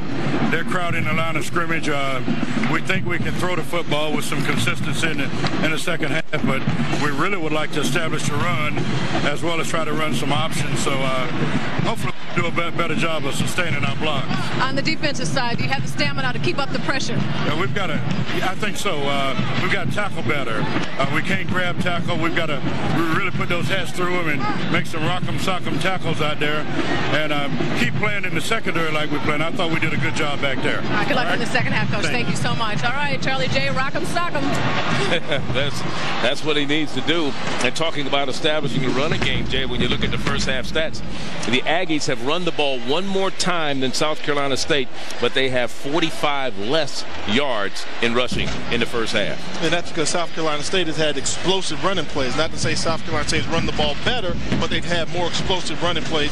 The Aggies haven't been able to do a long, sustained drive with those explosive runs. They've had a lot of four or five yards, which you're going to get from Bill Hayes coach team. They haven't had the big explosive play that could be coming in the second half. Longest run for the Aggies in the first half was a 15-yarder by Jamal Jones, and I believe that was on an end-around play. Yeah, a little bit of trickery there. They ran a reverse with the misdirection, whereas we saw numerous plays there for South Carolina State. Jamie Scott with a 29-yard run for South Carolina State. Of course, McCampbell, three of 10 in the passing department, three to his own team. He threw four to the opposing team. Not something you want to see. No, it's not. I mean, more importantly, he's throwing 30% right now. 3 of 10, 30% ratio for the guy that's leading the conference in pass efficiency, as well as he's one of the tops in the nation. So something's going wrong there. Look for some halftime adjustments. Give him some easier throws to make. See if he can improve on that statistic there. It's only the good thing about it, he can only go one way from that first half, and that's up. He sure can. Yeah. yeah if he unless he throws five in the second half. He won't do that. Let's hope not. As we get ready to start the second half, you see the Aggies of North Carolina A&T will be kicking off to the Bulldogs of South Carolina State. DeBryan. That is Jamie Scott. Fields it at the one yard line. And he's cut down at the 16. Checking out some other standings in Black College athletics today. The Southwestern Athletic Conference in the East. Alabama A&M have assured themselves at least a tie for the East, and if they should prevail today in their final game in Jackson State, even if Jackson State beats Alcorn later tonight here on MBC, Alabama A&M in head-to-head competition will come out victorious and represent the East in this SWAC championship game in Birmingham December 14th. Of course, Grambling has already wrapped up the West, but they have the big game coming up against Southern down in the Bayou Classic next Saturday. And of course, you never know what the outcome of that's going to be. That's such a rivalry. Yeah, it just depends on what kind of roux they use to make the gumbo that week. That's how you determine who's going to win now. It's a little bit of a thicker roux, then Southern tends to do better. If you got one of those water-based rubs, a little bit more crab and sausage in there, that favors Grambling a little bit. You know, this is uh, this week in the MEAC, uh, the race a whole lot clearer than it was a week ago, right? it is. It is. We had so many scenarios last week, we didn't know which way was up, did we? The thing about it, if we just would have followed our history like you do with a stock, follow the historical price of it, you would have known that it was going to come down to that Florida Classic, the last game of the year in Florida. It's been that way for the past three years, am I right? And this makes it year number four. Right. On second down, McCampbell, escapability, but not too far. And he was hit by Sean Jones, who already picked up a penalty for a face mask on McCampbell in the first half. Sean Jones, one of those guys, he just likes to hit quarterbacks. I think if he could, he'd come up here and hit me right now if he could. he likes to hit the six foot two sophomore out of Raleigh, North Carolina, chasing down the quarterback. But I do respect the linebacker that makes the quarterback pay when he wants to run outside of the pocket. It is a third down, third and three for the Bulldogs.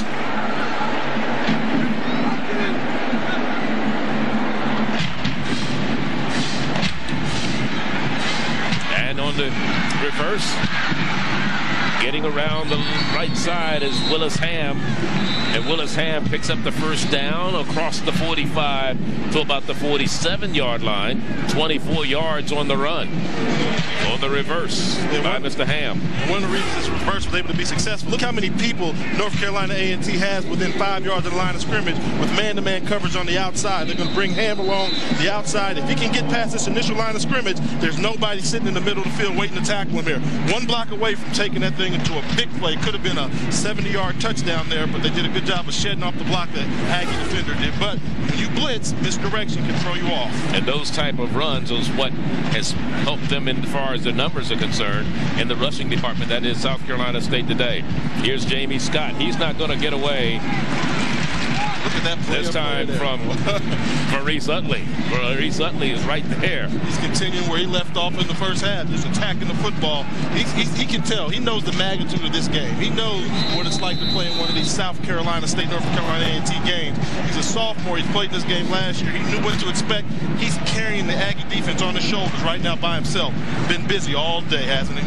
Among linebackers in the conference, Maurice Utley came into the game ranked fourth in tackles. Second down and 15.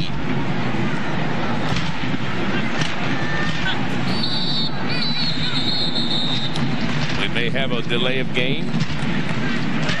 Yes. Delay on the offense. Five-yard penalty. Repeat second down. South Carolina State only their fourth penalty of the ball game. The Aggies have been penalized six times in the contest so far. Here's a little bit of trivia. It's always thrown me off. In the college football game, you have a 25-second clock, correct? In the NFL football game, you have a 40-second clock. Pros should be better at reading defenses and coverages. Why don't they college games have a 40-second clock? Something to think about. All right. I will. Burgess on the reception. And Burgess back to the original line of scrimmage. Before McCampbell completed that pass to one of his, own players. yeah. Burgess came into the game as with 23 receptions, four touchdowns receiving. He also runs the ball quite a bit from that. He's almost like a slot wingback type combination because he runs the ball almost as much as he catches passes. Football player, we call him. Yeah. McCampbell again going on the fade down the sideline. In and out of the hands of Metcalf. He had it, and it was broken up at the last minute by Jason Horton. Horton got away with one there. I mean, if that ball's thrown just a yard in front or even a yard behind or with a little bit more zip, Horton was beat here. You see Metcalf does a good job of beating Horton initially off the line of scrimmage. It's just a foot race here, and Metcalf has those long legs striding out. Horton looked back at the last moment, managed to get a hand in there and strip Metcalf's hands away from him. Fourth down. That'll bring on the punting unit for South Carolina State. That'll bring on Corey Brandenburg and a very disgusted Metcalf over on the sideline.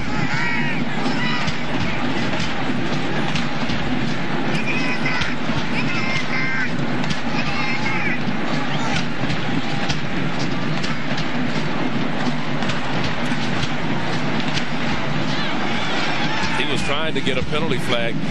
He won't get an acting get a job in the acting school for that. on the return for the Aggies. Oh, what a block. It's Curtis DeLoach. DeLoach down the sideline and out of bounds in front of the Aggie bench. What a block and what a run back by DeLoach. 41 yards on the punt. Curtis and the return by DeLoach.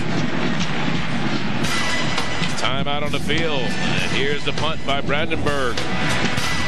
See, that was an acting job there.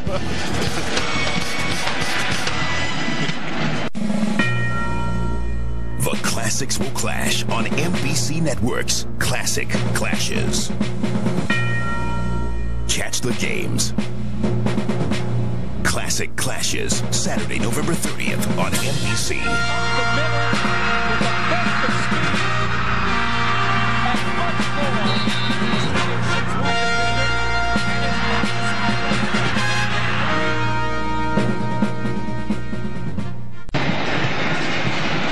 Hayes, head coach of the Aggies of North Carolina A&T. 13th coach at the school, spent 12 years at Winston-Salem with a record of 89-42. Needs five wins to hit the 200 club and join active coaches Billy Joe and Bullet Bailey.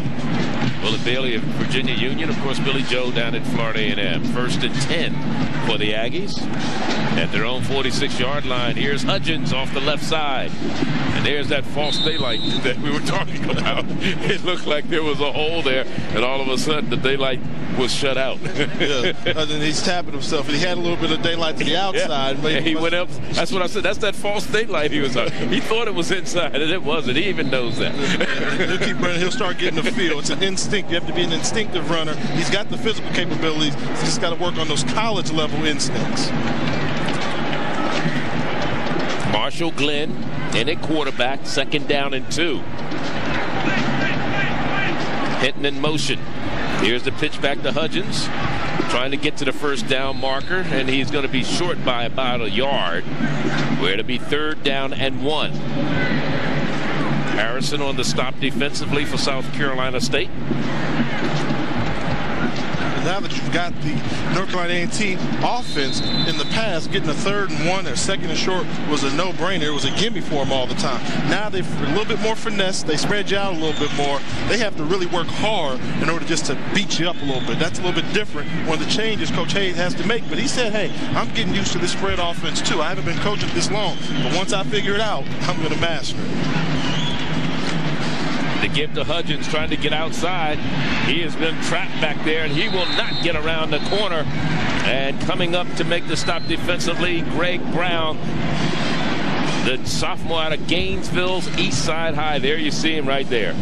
He started as a freshman a year ago, and he made a great defensive play that time. They did. This has got to be power football. You have to have the ability just to run straight ahead. They're doing pulling traps, and Greg Brown just strung it outside and just continued to attack the ball carrier there, running backwards. You can't do that at all because even if you wouldn't have gotten it on third and one, if you run right to the line of scrimmage and fall down fourth and one, you can put your team in a position where they may decide to go for it. Matthews back to punt it, standing at his own 30. Had the ball is snapped along the ground. Goolsby will field it at the 25. Goolsby up across the 35 to the 37-yard line. A 27-yard punt by Matthews and Goolsby on the return. 8:32 remaining third quarter. Still a three-point ball game, 12 to 9. The Bulldogs ahead.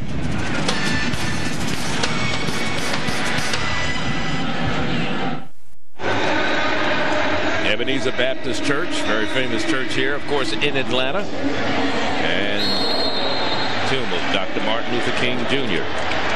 1929 to 1968. First and 10, South Carolina State right now. Leading by three, 12 to 9, and the ball at their own 37. Campbell gives it to his running back, goes straight ahead. Let's look at our MBC trivia question of the week.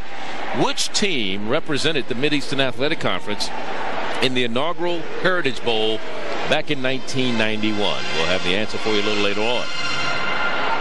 All you have to do to log on and try to answer yourself to www.mbcnetwork.com. After a gain of three, it'll be second and seven at the 40 for South Carolina State. Jamie Scott is the lone setback back there. McCampbell with a pump fake, throwing down the middle. And there is interference because the defender had his back to the ball, but I don't know. It's going to be offense. I don't. I was going to say I don't know about that one because I don't know if it's going to be defensive or offensive because Metcalf was going after the ball. The defender, he ran into the defender. Now was he impeded? That's what you have to look at. It looked like he shoved the defender. Is what I thought. Well, you were right, Jay. Offensive pass interference. I was going to say I didn't think it was defensive. Yeah, could could have been defensive. And as you see here, Metcalf is going to push him out the way as the defender's getting ready to jump for the football. Metcalf plays a little bit of defense of his own. He pushes the defensive back out of the way there. Not bad. As a quarterback, you hate to see that penalty. As a coach, as a quarterback, you don't mind your wide receiver stopping you from throwing an interception. Yeah, you don't want that fifth Offensive pass interference, 15 yards from the previous spot. Repeat the down. Daniel Evans, our referee. Daniel O'Brien. Jerry Taylor, Ralph Newell, Richard Martinez, Willie Robinson, and Cornelius Wallace. Those are our officials today as assigned by the Mideastern Athletic Conference. Johnny Greer,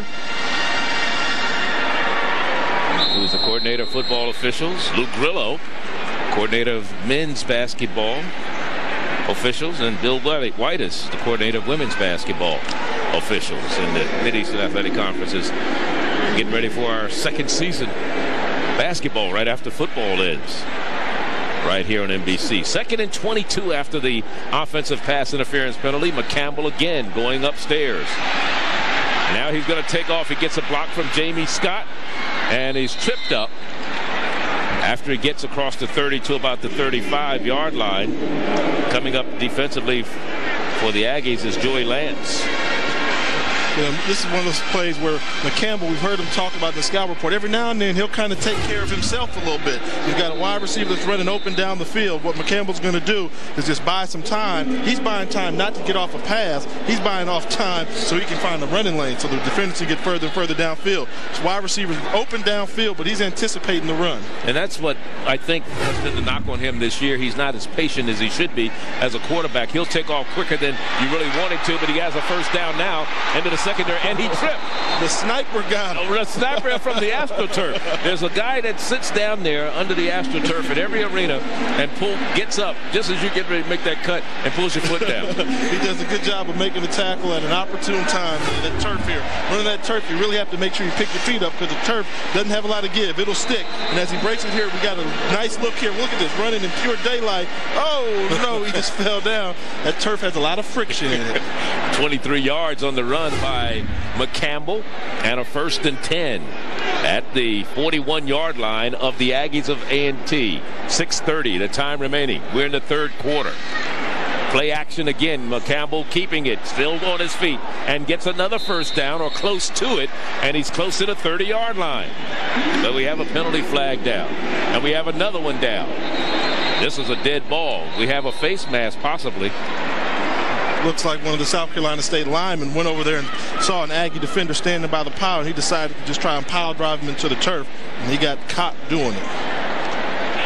Well, let's see what our referee Daniel Evans. Got a dead ball, unsportsmanlike conduct on the offense. That's the one you were talking about. Yeah, it was the one. It was the one. What the one referee did, he made sure that everybody saw the flag go up. He threw it twice. First time he just dropped it. Second time. Oh, he, he just threw it. High, Oh, okay, it was the same flag. Yeah, same flag. Well, sometimes they carry three or four flags in case they see three or four flags. Yeah, they'll drop a hat on you and everything else.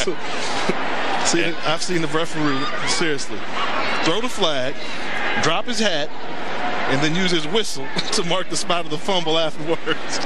Hey, you use whatever tools you have, right? so the discussion going on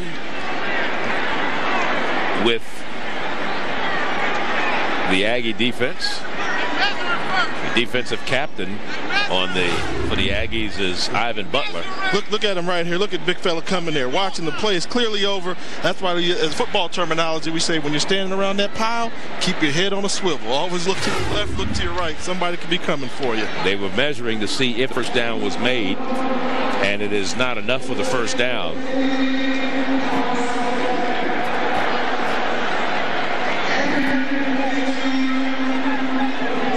Let's just recap the season and how the things went for South Carolina State this year. They started the season with a win over Tennessee State by six. They forced seven turnovers in that game. They beat Dick in the game we did in Columbia, 52 to seven. Campbell ran for one, threw for two. They lost to Wofford by one point. They had won seven straight dating back to last season before that loss. Then they beat Savannah State 50 to 12, FAMU 31 13, and then North State 35 9, Norfolk State to a minus yards rushing. But then things started to fall apart. They had won five of their first six games. They lost to Bethune 21 to 6, three turnovers in that game. Sue ran for 192 yards for Bethune. They beat Hampton in overtime 47 41. Lost to Delaware State 27 21. They turned the ball over five times in that contest and trailed 21 0. Uh, they were held at just 67 yards rushing against Delaware State. Lost to Howard 23 to 9. Had the ball less than 17 minutes in that game. Jay Colbert for Howard rushed for 187 yards, and they lost to Morgan last week 23-12. Starlings 177 yards and three touchdowns, and they were held 177 total yards, just 49 passing. That's how the season has been for the Bulldogs. McCampbell on the screen to Jamie Scott, and Jamie Scott will not get anywhere as Horton was there to make sure. Yeah, good job. They tried to do a little trickery here, have everybody flood the zone on the left side, throw a screen back to the right side. One person, all you need on one person on the defense side of football to figure out what you're doing on trick plays, and they can ruin the timing of the whole play. In that case there, Horton came in from the corner, made a great tackle on the play. So to bring up a third down and 16. The ball at the 46.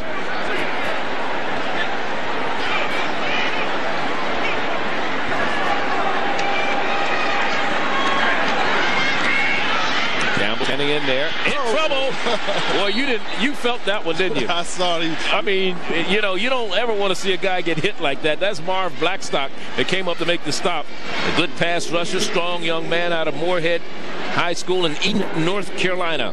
Fifth sack for him this season. Yeah, I can feel it coming. As a quarterback, I still have that clock going on in my head. So from the time the ball snapped, you have to have that mental clock saying, okay, first read, my second read, my third read, I got to go. In that case, he said one, two, three, uh, let me look for four. And Mr. Blackstock said, there's no four. The fourth yeah. option is a sack. So now they got to punt the ball. Ever explosive is Deloach. And here's Brandenburg back to put away. He don't fake it. He doesn't do the acting job this time. Deloach does not fair catch, but there's a flag down. He may have gotten or caused one of his teammates to have an illegal block. Sometimes at that 22-yard punt by Brandenburg, return people will set up their offensive people to fail, their blockers to fail.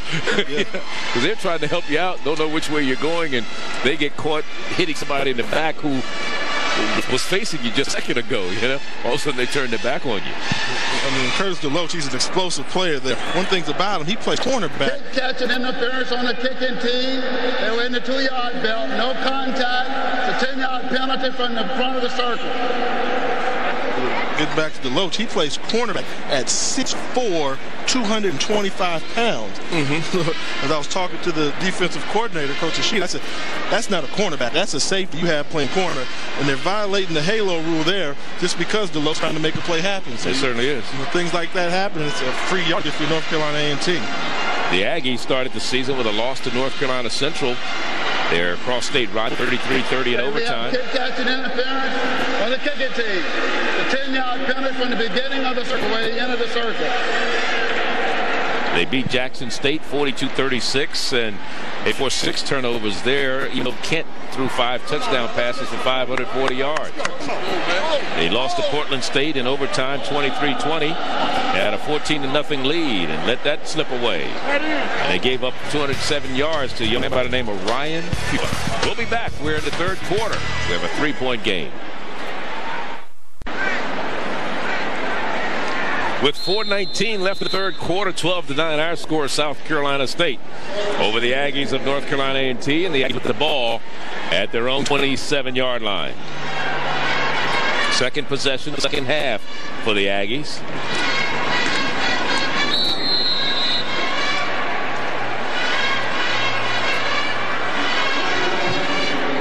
We asked you earlier which team represented the MEAC in the inaugural Heritage Bowl in 1991. It was the Aggies of North Carolina A&T. They beat SWAC representative Alabama State 36-13. Aggies finished that season 9-2.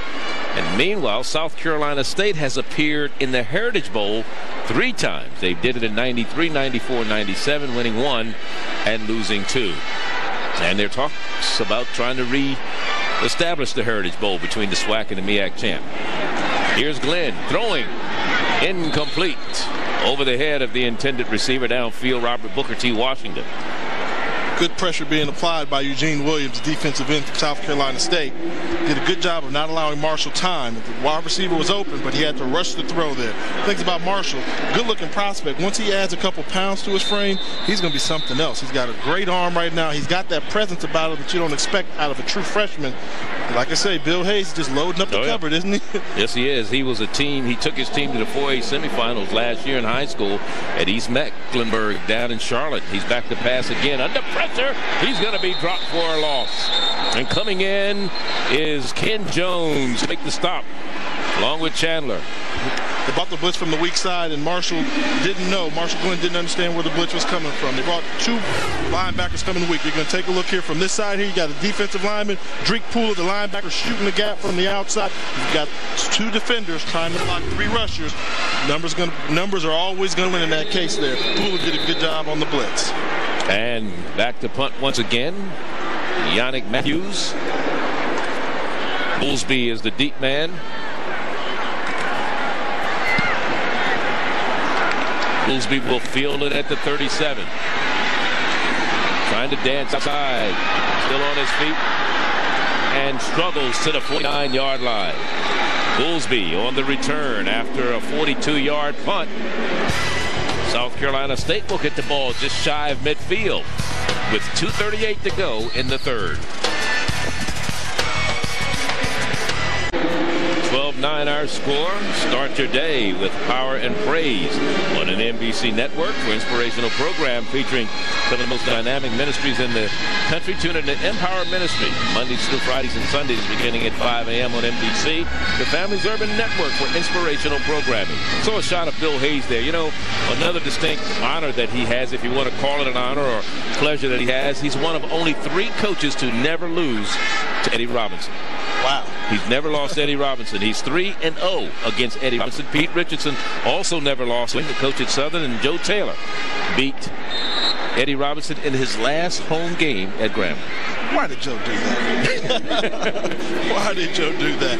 And I'll tell you this to speak up for Coach Rob. I know that uh, they lucky they caught him towards the end of the career because in his peak, if they would have played Eddie Robinson three times, you probably were going to lose two out of three. No question Of course, uh, Buddy Pough replaced the legend here in Will Jeffries, who spent uh, 19 years here. He spent five at Howard and five at Wichita State, State and has the best record in the conference history.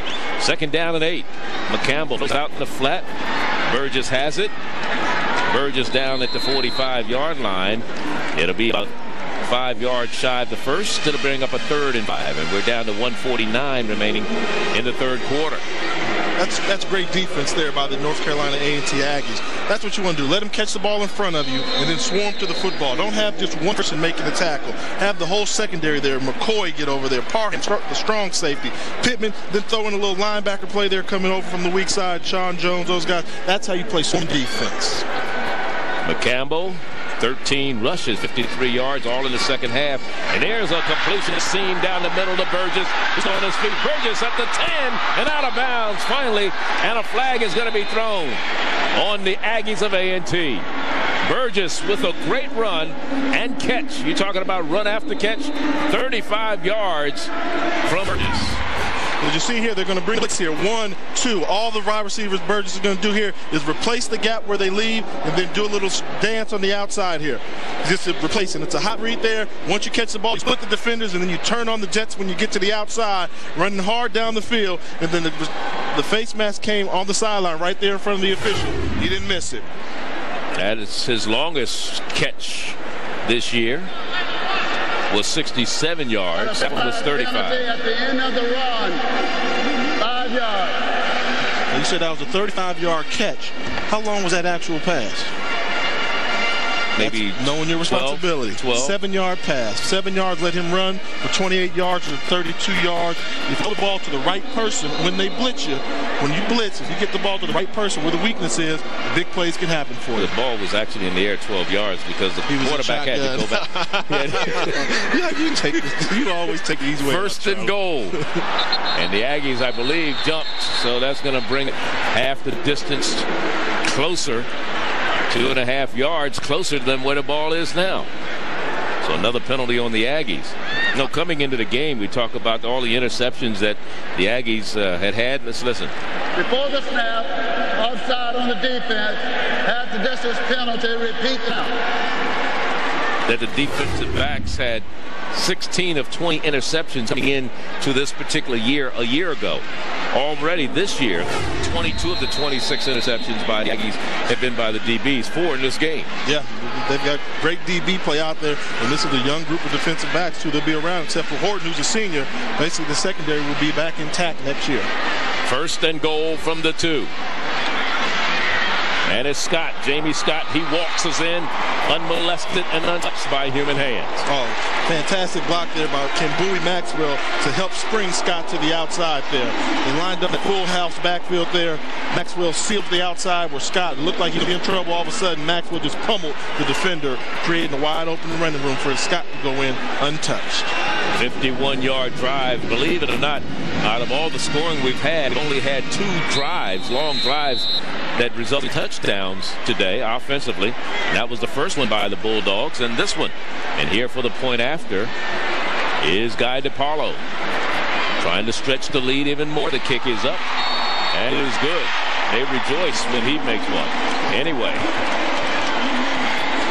that makes it a 19 to 9 ball game. This is with 38 seconds to go. Maxwell with a cut block there. Once he just cut that wide, number 21, he took his angle away from Horton.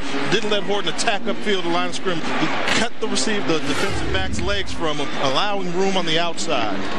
Let's look at the Division two playoffs. Out of town scores and we saw that Fayetteville State was playing Carson Newman today, the Division two playoffs, and Carson Newman came out victorious. Fayetteville State representing the SCIAA rather, and Delaware State ends its season on a positive note, 14 to seven over Howard. Morgan State, great job for Coach Hill-Eley. They beat Hampton this day on the final game of the season, 52-42. Norfolk State comes out victorious over Morris Brown, 32 to 19 in Norfolk. Three in a row for Three in a row for them. And right now, the second quarter, Bethune-Cookman leading Florida A&M down in Orlando by a score of 10 to nothing. Bethune-Cookman, of course, trying to go 11 and 1 in for the season. And the SWAC, Alabama A&M, they have assured themselves a berth in the SWAC championship. They beat Arkansas by love by 20 today. So they will represent the East Division against Grambling December 14th down in Birmingham. From the yard line. Hudgens. And Hudgens out to the 29. This is so good for, for football in general. When a lot of things come down to the last week of the season, you have to get excited about it from a football perspective, especially that Bethune Florida A&M matchup. That's going to be interesting there. As good a job as Coach Wyatt has done. It all came down to one week, motivating your troops. And he had new coach, Coach Hayes told him he gave him a little pep talk down there, getting ready for that game against Florida A&M. Oh, yeah. He said that Wyatt was kind of concerned. Oh, I lost Suber, and I don't know what I'm going to do. He's hurt, he's hurt. Coach Hayes told him, you just better coach what you have. Stop you can't worry about what you don't have, right? You can't worry about what you don't have. Hayes, you know, he got a little attitude. Like, I'm tired of hearing you can complain about it. Here's a reverse by the Aggies, and now a pass is going to be thrown downfield, but the receiver slowed up. The receiver slowed down Kenny Perry. I don't know if he thought it was going to develop, but I'll tell you one thing.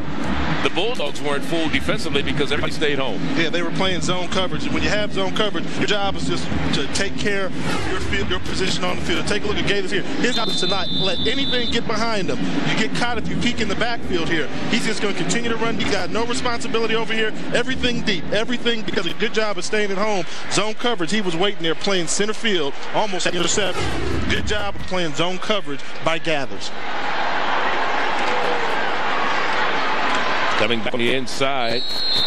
And again, with the exception for the that fumble in the first half, A&T has played almost airless football. And Douglas is back in at quarterback. He started the game.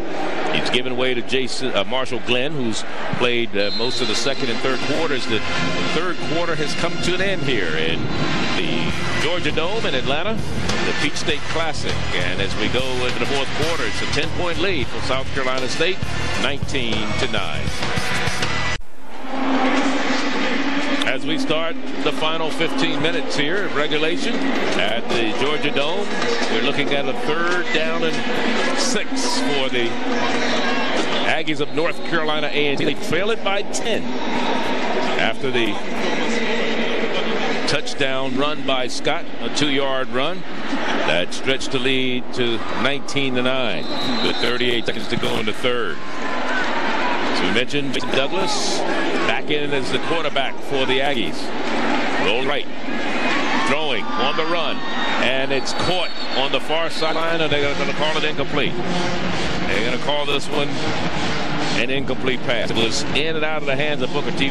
Well, Booker had it, but I think he came down out of bounds. They just ran out a little bit of real estate. He's got to do a better job of presence of knowing how close he is to the sideline. Geared down a little bit so your quarterback has more room to throw. See him there, he's got the out route. Now start slow down, stop drifting. He stretches out and just landed out of bounds. It's a matter of if the right foot would come down first, they would have called it good. The left one came down first out of bounds, incomplete pass on third down. So it brings up a fourth down punting situation.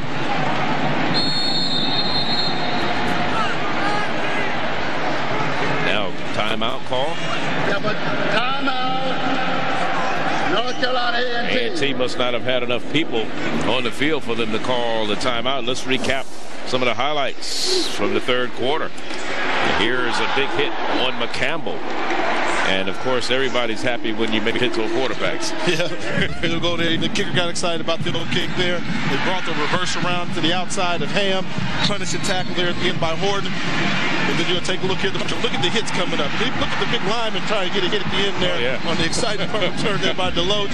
And then the swarming Bulldog defense. Heard they've been all over Hutchinson all day today. And then you see here McCampbell springing himself free down there, tripping, losing his traction there. And then on the outside, the great seal block there by Maxwell. Scott going into the end zone untouched. Those are the easy ones right there. The oh, yeah. touchdown. Man, oh man makes the game look easy sometimes. Pritchard, Pritchard was also out there blocking. Remember, Pritchard has a touchdown. He scored the first touchdown of the ball game on a three-yard run with 8.19 to go in the first quarter. So on a fourth down punting situation, you're looking at Goolsby back to receive the punt of Yannick Matthews. Yannick Matthews has been busy today. seven punts and three field goals. Good kick. Catch call for at the 25-yard line by Goolsby. Let's go down to Nicole. All right, Charlie. We now, of course, Evander Holyfield. Everybody recognizes him, but he's also an executive for MBC. Tell us about, first of all, Atlanta, having everybody in her hometown for such an event. Well, you know, it's, it's, a, it's a good game for one thing. You can bring all the people together with sports to show you how family's supposed to be. MBC is all about family programming. Tell us about, you know, 30 football games. You've got a lot of basketball games coming up. This is sports at its best. Well, it's definitely sports at its best. And, and to give these get these young people opportunity to be on television. A lot of times, you know, with with uh, with black college sports, they don't get a chance uh, to be on television. Now they get a chance to be viewed, and a lot of other great athletes probably go to the, more the university because they know they can get exposure and they can kind of reach their goal profession if they like. For you, big fight, December 14th, Chris Byrd. I asked you when you're ready. You said, hey, I was born ready. you for this guy? Is he going to be a tough contender for you? Well, I'm telling you, Chris Byrd is a good fighter, and uh, all, all good fighters are tough. But, you know, that's something that I, that's what I do. That's what I do professionally. Something I've been doing for 32 years. So, ready? Yes, I am. all right. You're also a great role model and someone to look up to for the folks here at MBC as well. We thank you for this, Evander. Thank you.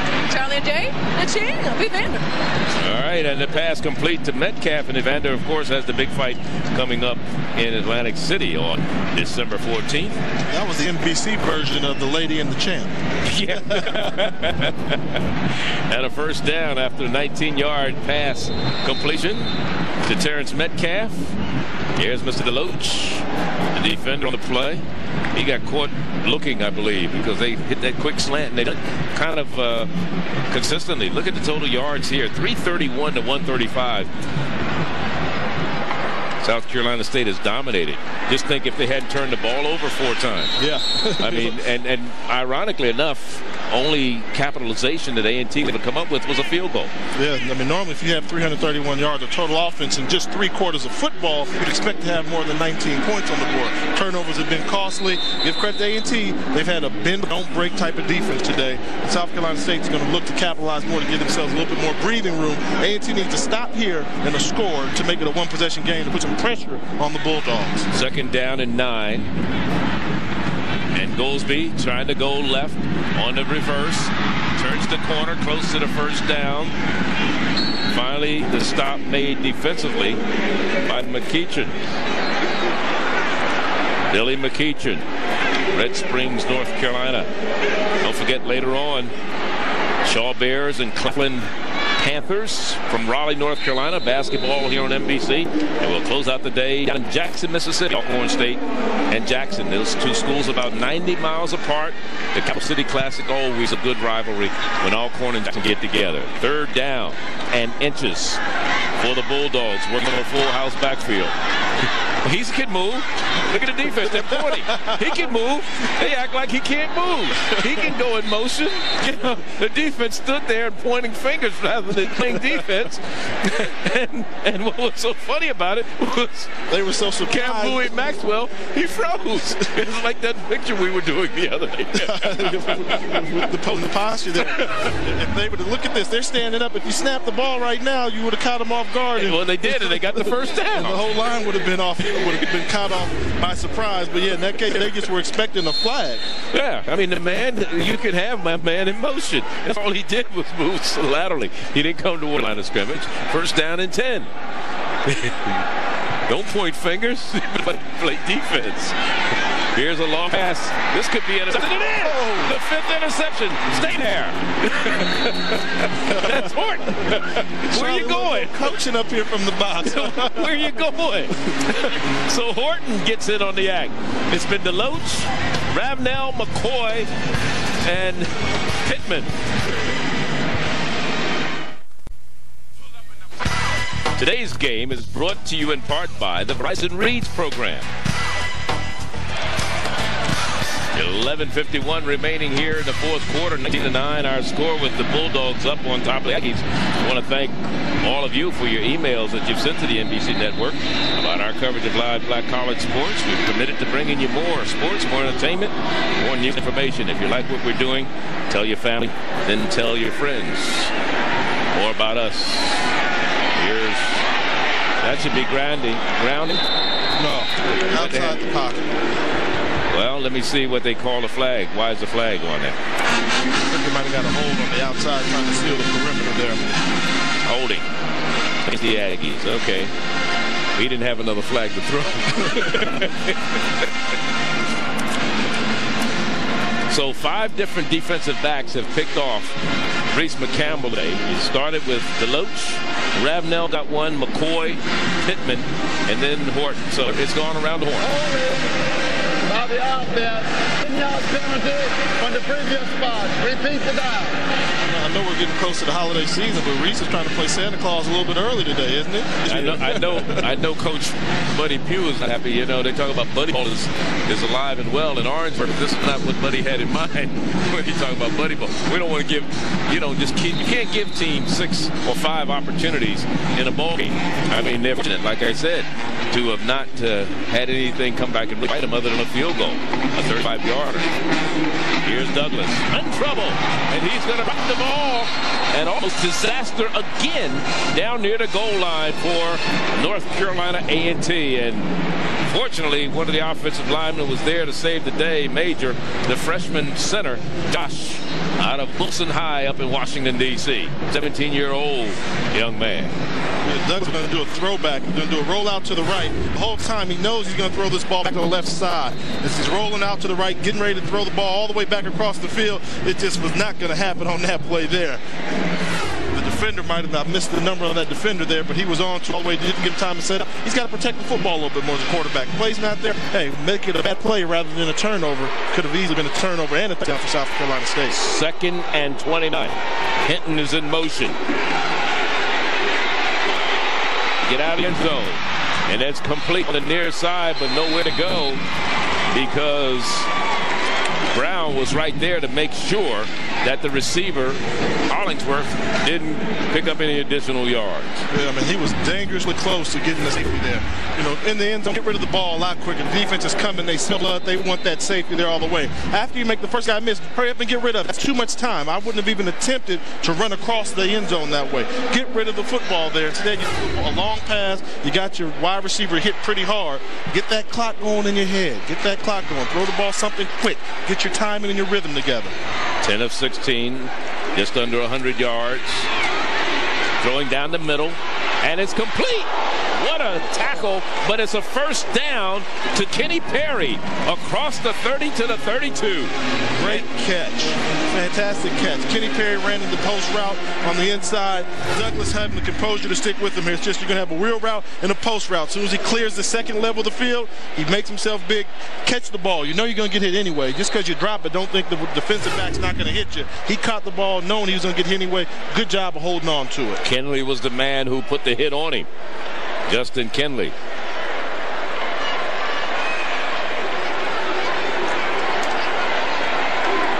First down.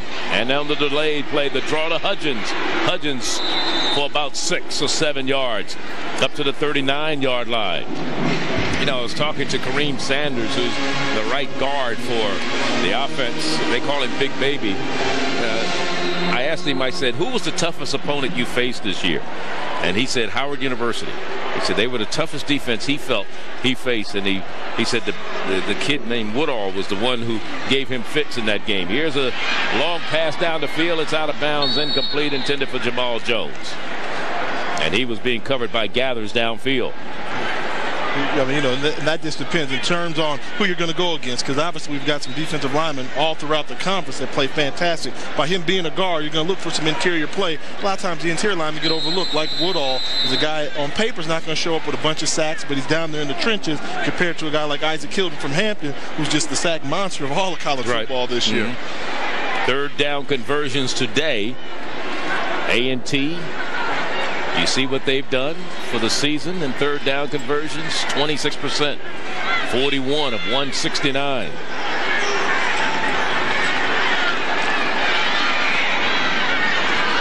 Almost intercepted on the far sideline. Almost coming up with it was Gathers. He had it there. Look at the, the, defensive coordinator, Robbie Wells, just gives him a hug there like, I understand, I understand. But that's a play you got to make there. I mean, you know, you got an opportunity to have it, give your team the football on the 40-yard line there, coming outside. On the rollout pass here, you can't float this ball down there. You got to assume there's going to be somebody there. Gathers was actually going for the hit and ran into the football before he ran into the Aggie wide receiver going out for the pass. So a punting situation again for the Aggies who for the fourth time on five interceptions, unable to turn it into any points. Goolsby the deep man, and this takes a South Carolina State bounce with 8.48 to go in the fourth quarter. And it's a 10-point lead still for the Bulldogs of South Carolina State after a 31-yard punt. And we'll be back. Of South Carolina State. He's catching on, Charlie. It's catching go. on. Play hard. Play rough. 3D's Funk Studio, the funkiest video show and primetime television broadcast. A special time next week. Tune in to Dennis's 3D Scott to for your hip hop historian on four hot episodes of Funk Studio Monday, Tuesday, Wednesday, and Friday at 10 p.m. right here on MBC as Kambui Maxwell gets the call that time, and Kambui picks up about eight yards across the 35 to about the 37 saw that piece at halftime talking about why would teams want to play with a deflated football or inflated football. Right now, South Carolina State with a 10-point lead in the fourth quarter wants to play with that deflated football, the one that's hard to throw, hard to score a lot of points, but it's real easy to run.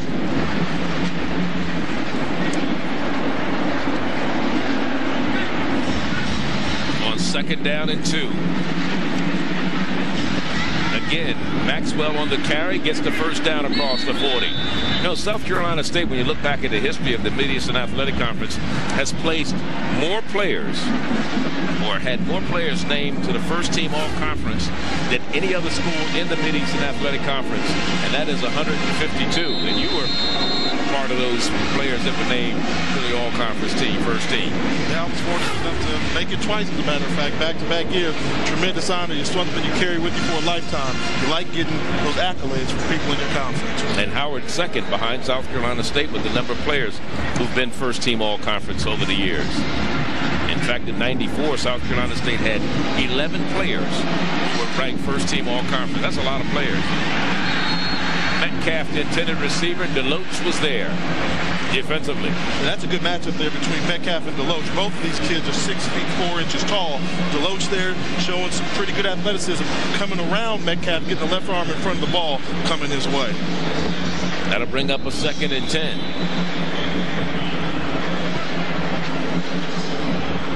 So coming into this season, Howard had put 103 players as first team all conference. Yeah, and we didn't count you on that. We didn't count you twice. You didn't either. count me twice.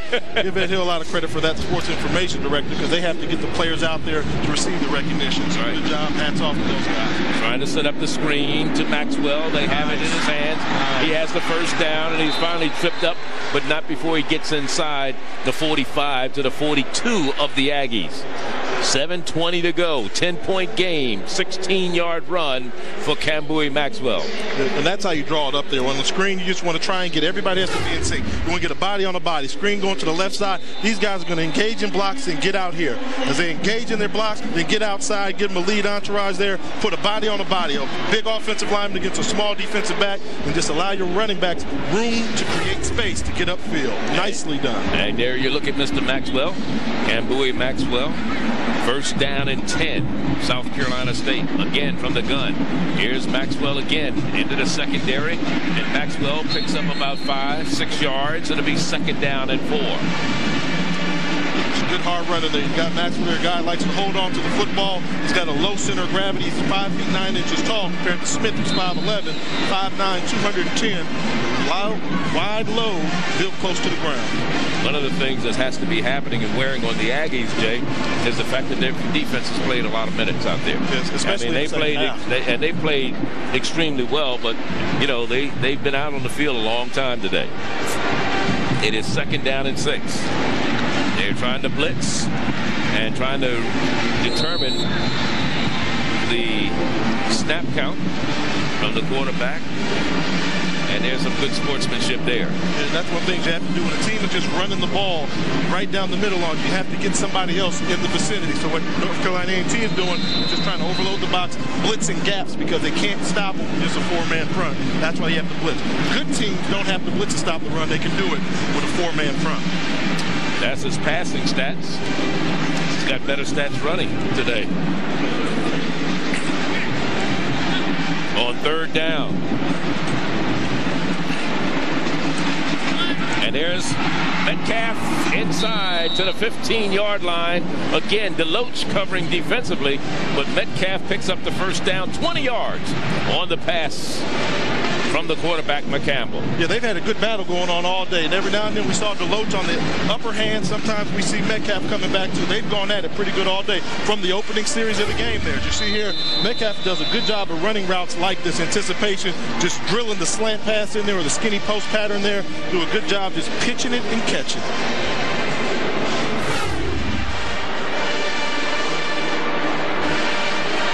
It is first down and 10.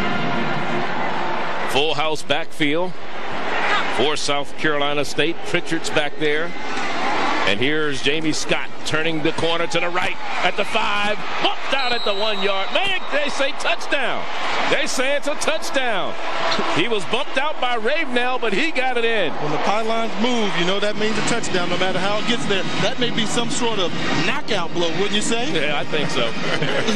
we have Evander Holyfield has joined us up in the booth. He said he always wanted to do what I do. He wanted me to go in the ring and fight for him in December. So let's see what happens. So Scott picks up his second rushing touchdown of the afternoon, and here's DePaulo on for the point after to try to stretch the lead even more.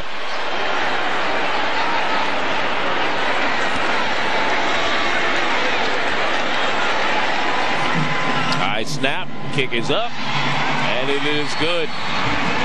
28 to 9 is our score. South Carolina State for the second straight year trying to knock off the Aggies.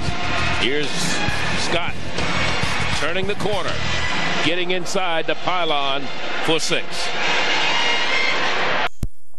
Well, you enjoying yourself today? Uh, I love the game. Love the game. It is. Exciting.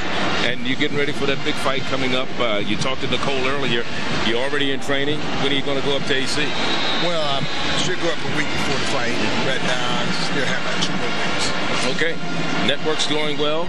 You're here today. Marlon's here. And Mr. Gary and Cecil went up to Raleigh, right? you decided to stay home. Well, everybody got to do a little something. You know? so I, am at home uh, seeing this great game. So, you know, I got that's part of it. Now, let me ask you this. I know that as a football player, former football player, we all think we can box and do things like that. As a boxer, you think you could have been a great football player, too?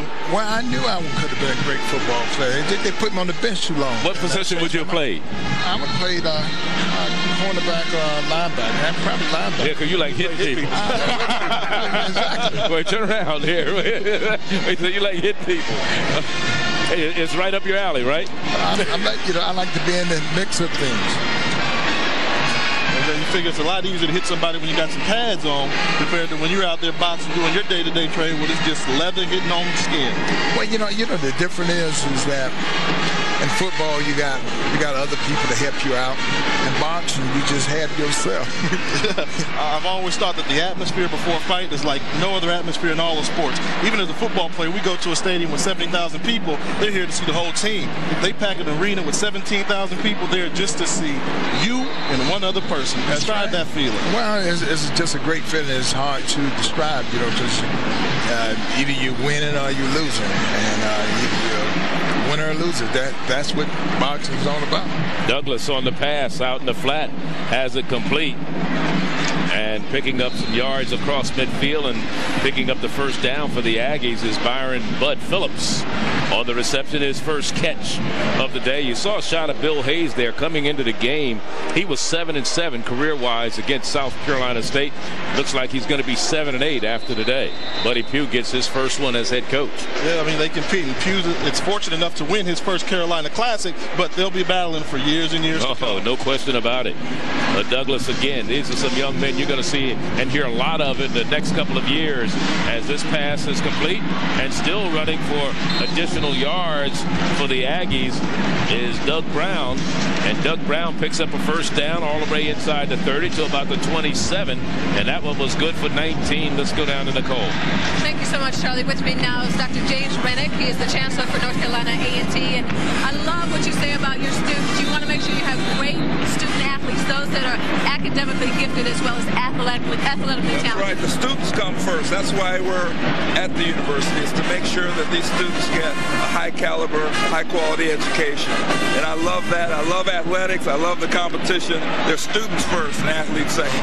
Now, love is the fact that you didn't come here in a suit and tie. You came here like Joe Fan. Talk about this rivalry and how great it is. Well, this rivalry is huge.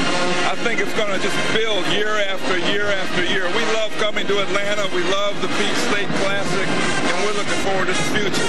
All right, thank you so much for joining us. Look at this, guys. You know, he's all A&T decked out. This yellow. Aggie Pride. Aggie Pride. He's ready to go. Back up to the booth. All right.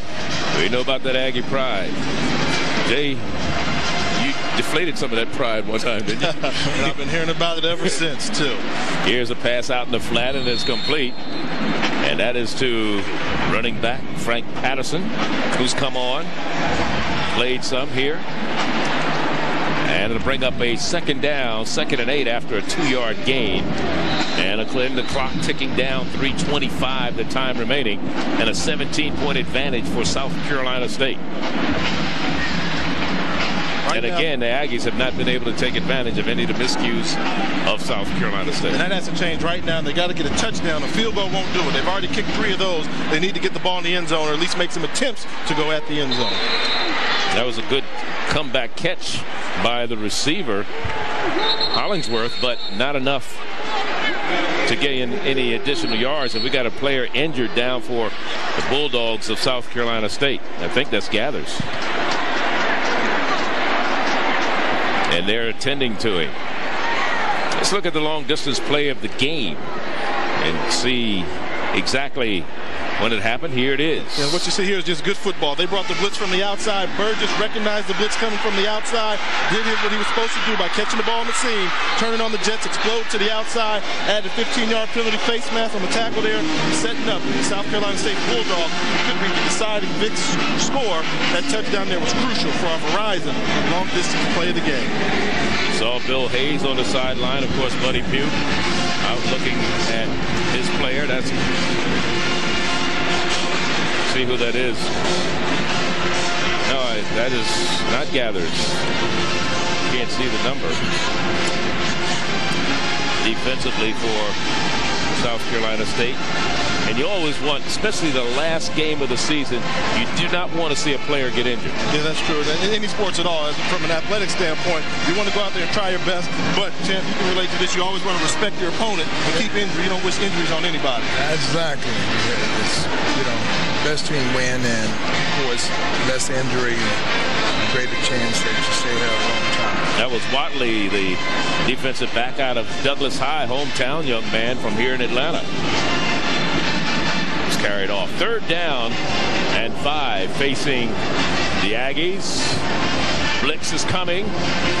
Steps up, incomplete behind the intended receiver. He was there and could have maybe taken it in. That was on the reception, Doug Brown. That's who he was trying to hit. And that's one there they wish they could have back. That could have been crucial. That could have been the touchdown they were looking for. Then an onside kick to make it a real competitive football game. You got to go for it. You can't think about a field goal now with 2.34 to go. Even though it is fourth down and five, you can pick up the first down without scoring. They only have to get to the seven-yard line for the first down. Well, Evander, thank you for joining us. Much success to you. Wait a minute. Let me see this play here. Don't go anywhere. Let me see. They may score. It's fourth down. We'll, we're going to hold you for one more play. I'm the only person that can do that to Evander. And this is in the air, incomplete, and the intended receiver just couldn't pick it up, Frank Patterson, and then they'll turn it over on downs with 2.29. Good luck to you December 14th. Always great seeing you. Evander Holyfield with us here, 2.29 remaining in this contest at a 26-9 lead for the Bulldogs. We'll be back.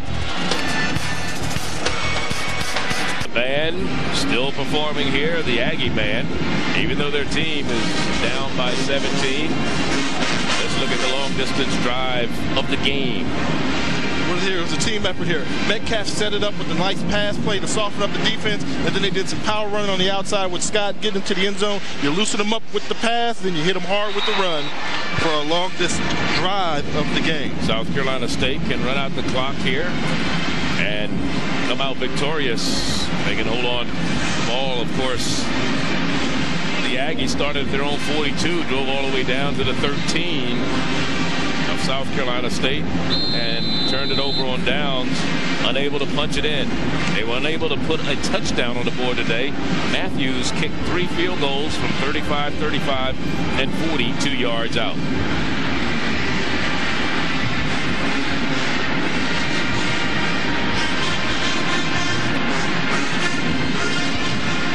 from their own 13. Some new blood in the lineup for South Carolina State. Bring in some new running backs. Let them get a chance to touch the ball a little bit. Carrying the ball that time was Jermaine Brown.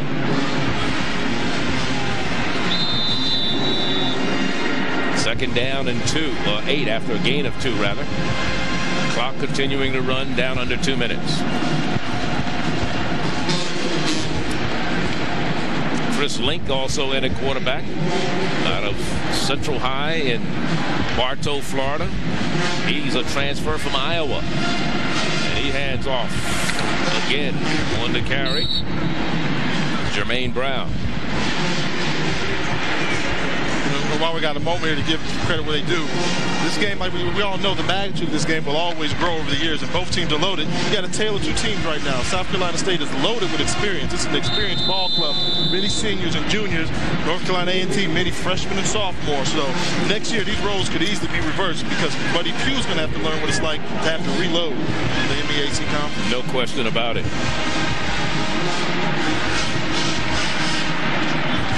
Losing Metcalf. He'll be losing Aubrey, Haynes on the offensive line. He'll be use, losing Bobby Collins.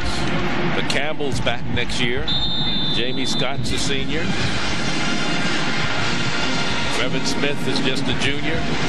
Willis Ham's a senior. You lose him.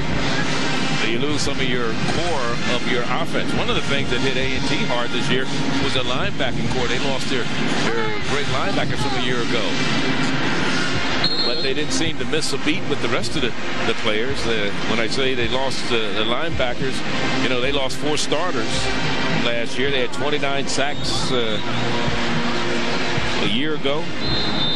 They're doing the same thing again this year. And then on top of that, don't forget about the injuries they had. They had some linemen in the uh, offensive line that were lifting weights, and during the offseason, they lost a couple of their players, too. That really, really hurts. All right.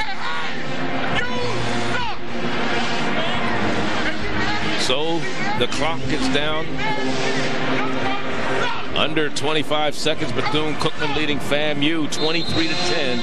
That's in the fourth quarter of that big MEAC game down in Orlando. And should Bethune hold on, they would become the MEAC champs with a record of 11 and 1. Their only conference loss came earlier in the year. Bethune-Cookman lost to Howard. No, not Howard. Hampton. Hampton, I'm sorry. Hampton, Hampton University. Super got hurt.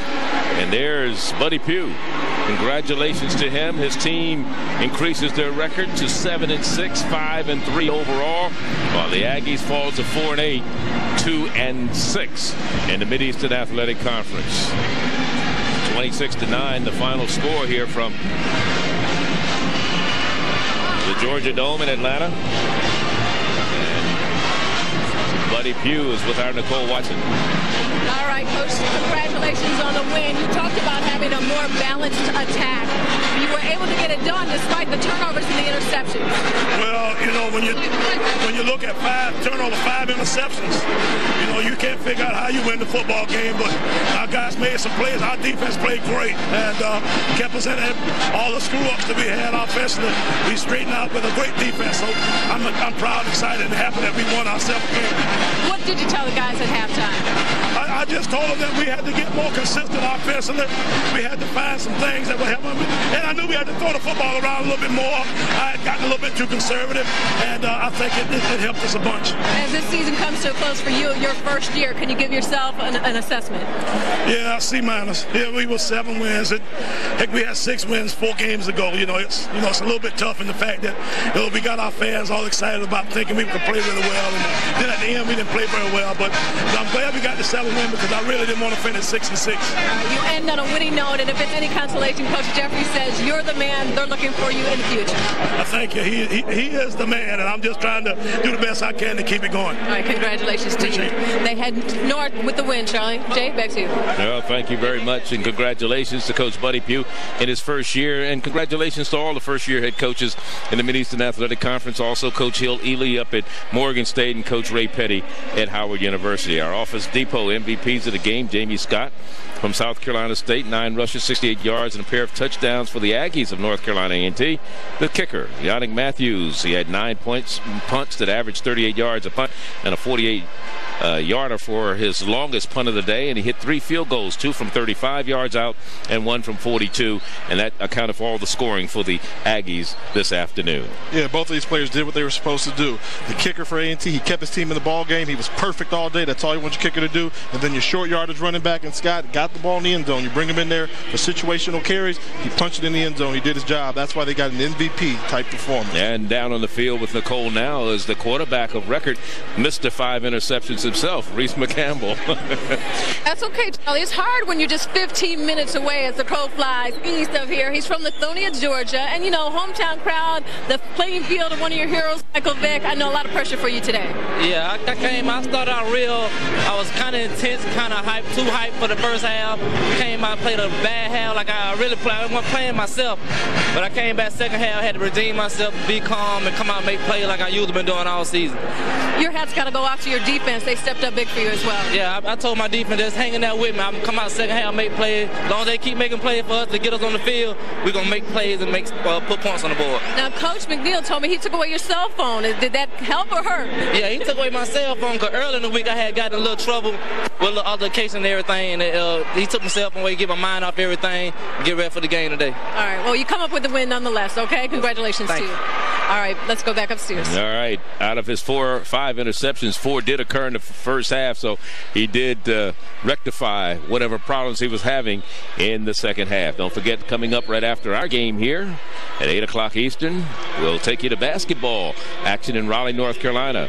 Shaw Bears against Claflin College, followed by the Capital City Classic from Jackson, Mississippi, And Jackson State. And as we wrap up this 2002 Black College football season here on MBC, I want to take a moment to say how much I've thoroughly enjoyed this season and all the thrills and excitement that made the telecast something special. I want to thank my sidekick Jay Walker for being the consummate professional, putting up with me for 12 weeks. I also want to thank our sideline reporter Nicole Watson for getting the behind-the-scenes look at each game. I also want to thank the producers, directors, all the technicians who do a thankless job every week to make sure you, the viewing audience, get the best picture sound in the industry. Without them, Jay Nicole and myself could not do our job. Also have to thank the sports information directors at the schools, the athletic directors at the schools, and mostly thank the coaches and players who allow us to eavesdrop on their practices, huddles, and who give me every reason in the world to want to do this for another 22 years. and lastly, I want to thank MBC CEO Willie Gary, a man with a vision, and without him, this unprecedented 26-game telecast, the first in the history of black college athletics, would not be possible. For Nicole Watson, Jay Walker, and all of us here at MBC Sports, Charlie Neal saying so long. State University.